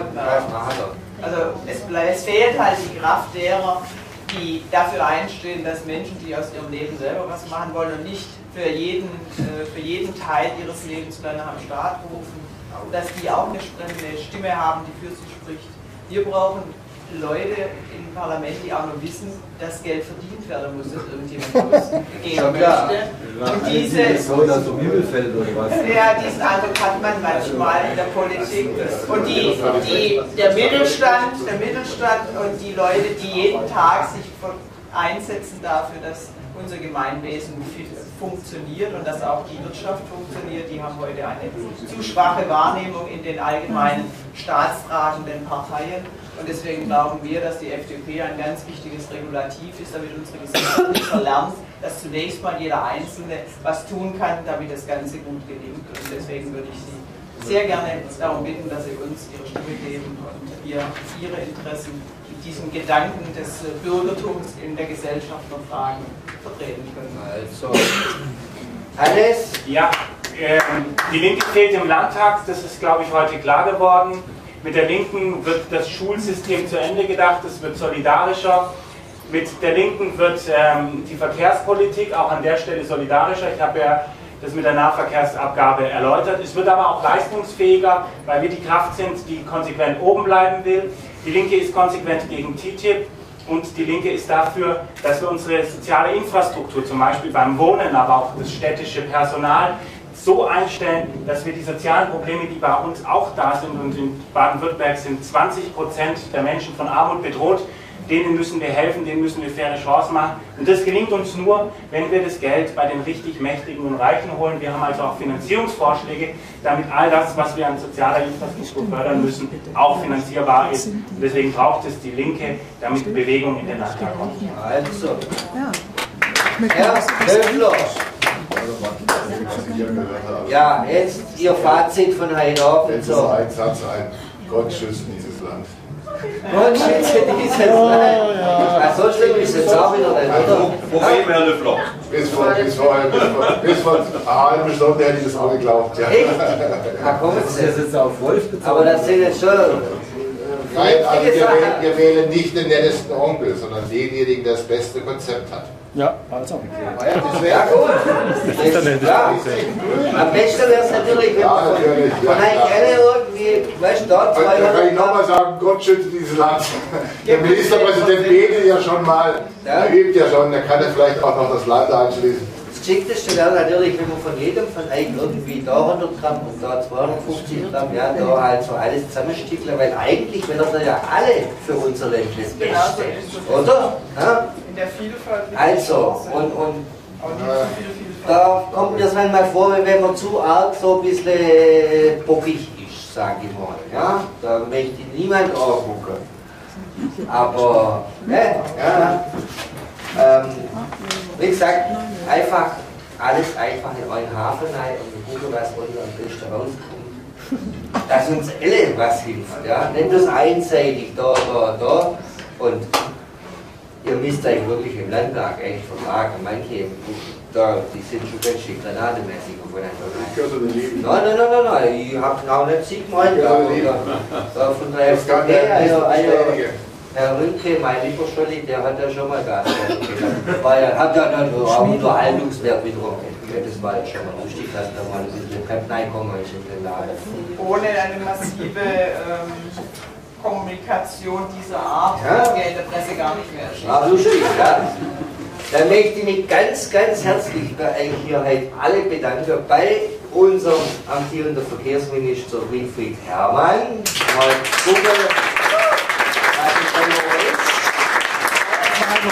Wochen schon, ja. Unser Herrn Wolf Gassmann vom äh, Niederbund Baden-Württemberg von der SPD. Vielen herzlichen Dank. dass Sie so weit Zeit genommen haben. Einzigste Frau, ich habe sie ja wenigstens eine Freundin gebracht, ja. Gabriele Reich-Gutjahr von der FDP, hier auch im Wahlkreis. Und den Herrn Vogelbauch, auch vielen herzlichen Dank an die Linke. Und natürlich ein ganz herzliches Dankeschön auch an unseren der einzigste Doktor hier in unserer Runde, gell? Meine Gott. Ja, der Eu- einer hat es einer hat's geschafft, gell? Reinhard Röffler von der CDU. herzlichen Dank. Jetzt gibt's noch kleine Musik mit Manfred Hirschbach und Ellen Ritt. Ihr könnt gern noch hier ein bisschen was essen, was trinken. Ladet euch zu Gesprächen ein, unterhaltet euch, weil wir müssen irgendwie alle fürs Ländle zusammenhalten. Ne? Also, vielen Dank und bis zum nächsten Mal zu Schwäbisch Quest. Ne? Anschlussfachmann will noch was sagen.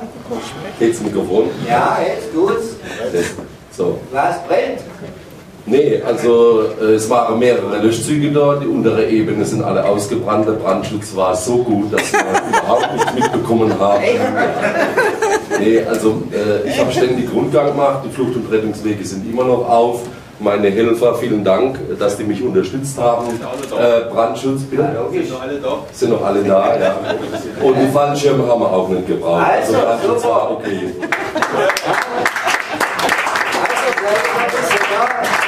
Eine Maultasche mit Kartoffelsalat, Stuffnudeln, Reis und ein wunderbares Stuttgarter Rundfeld.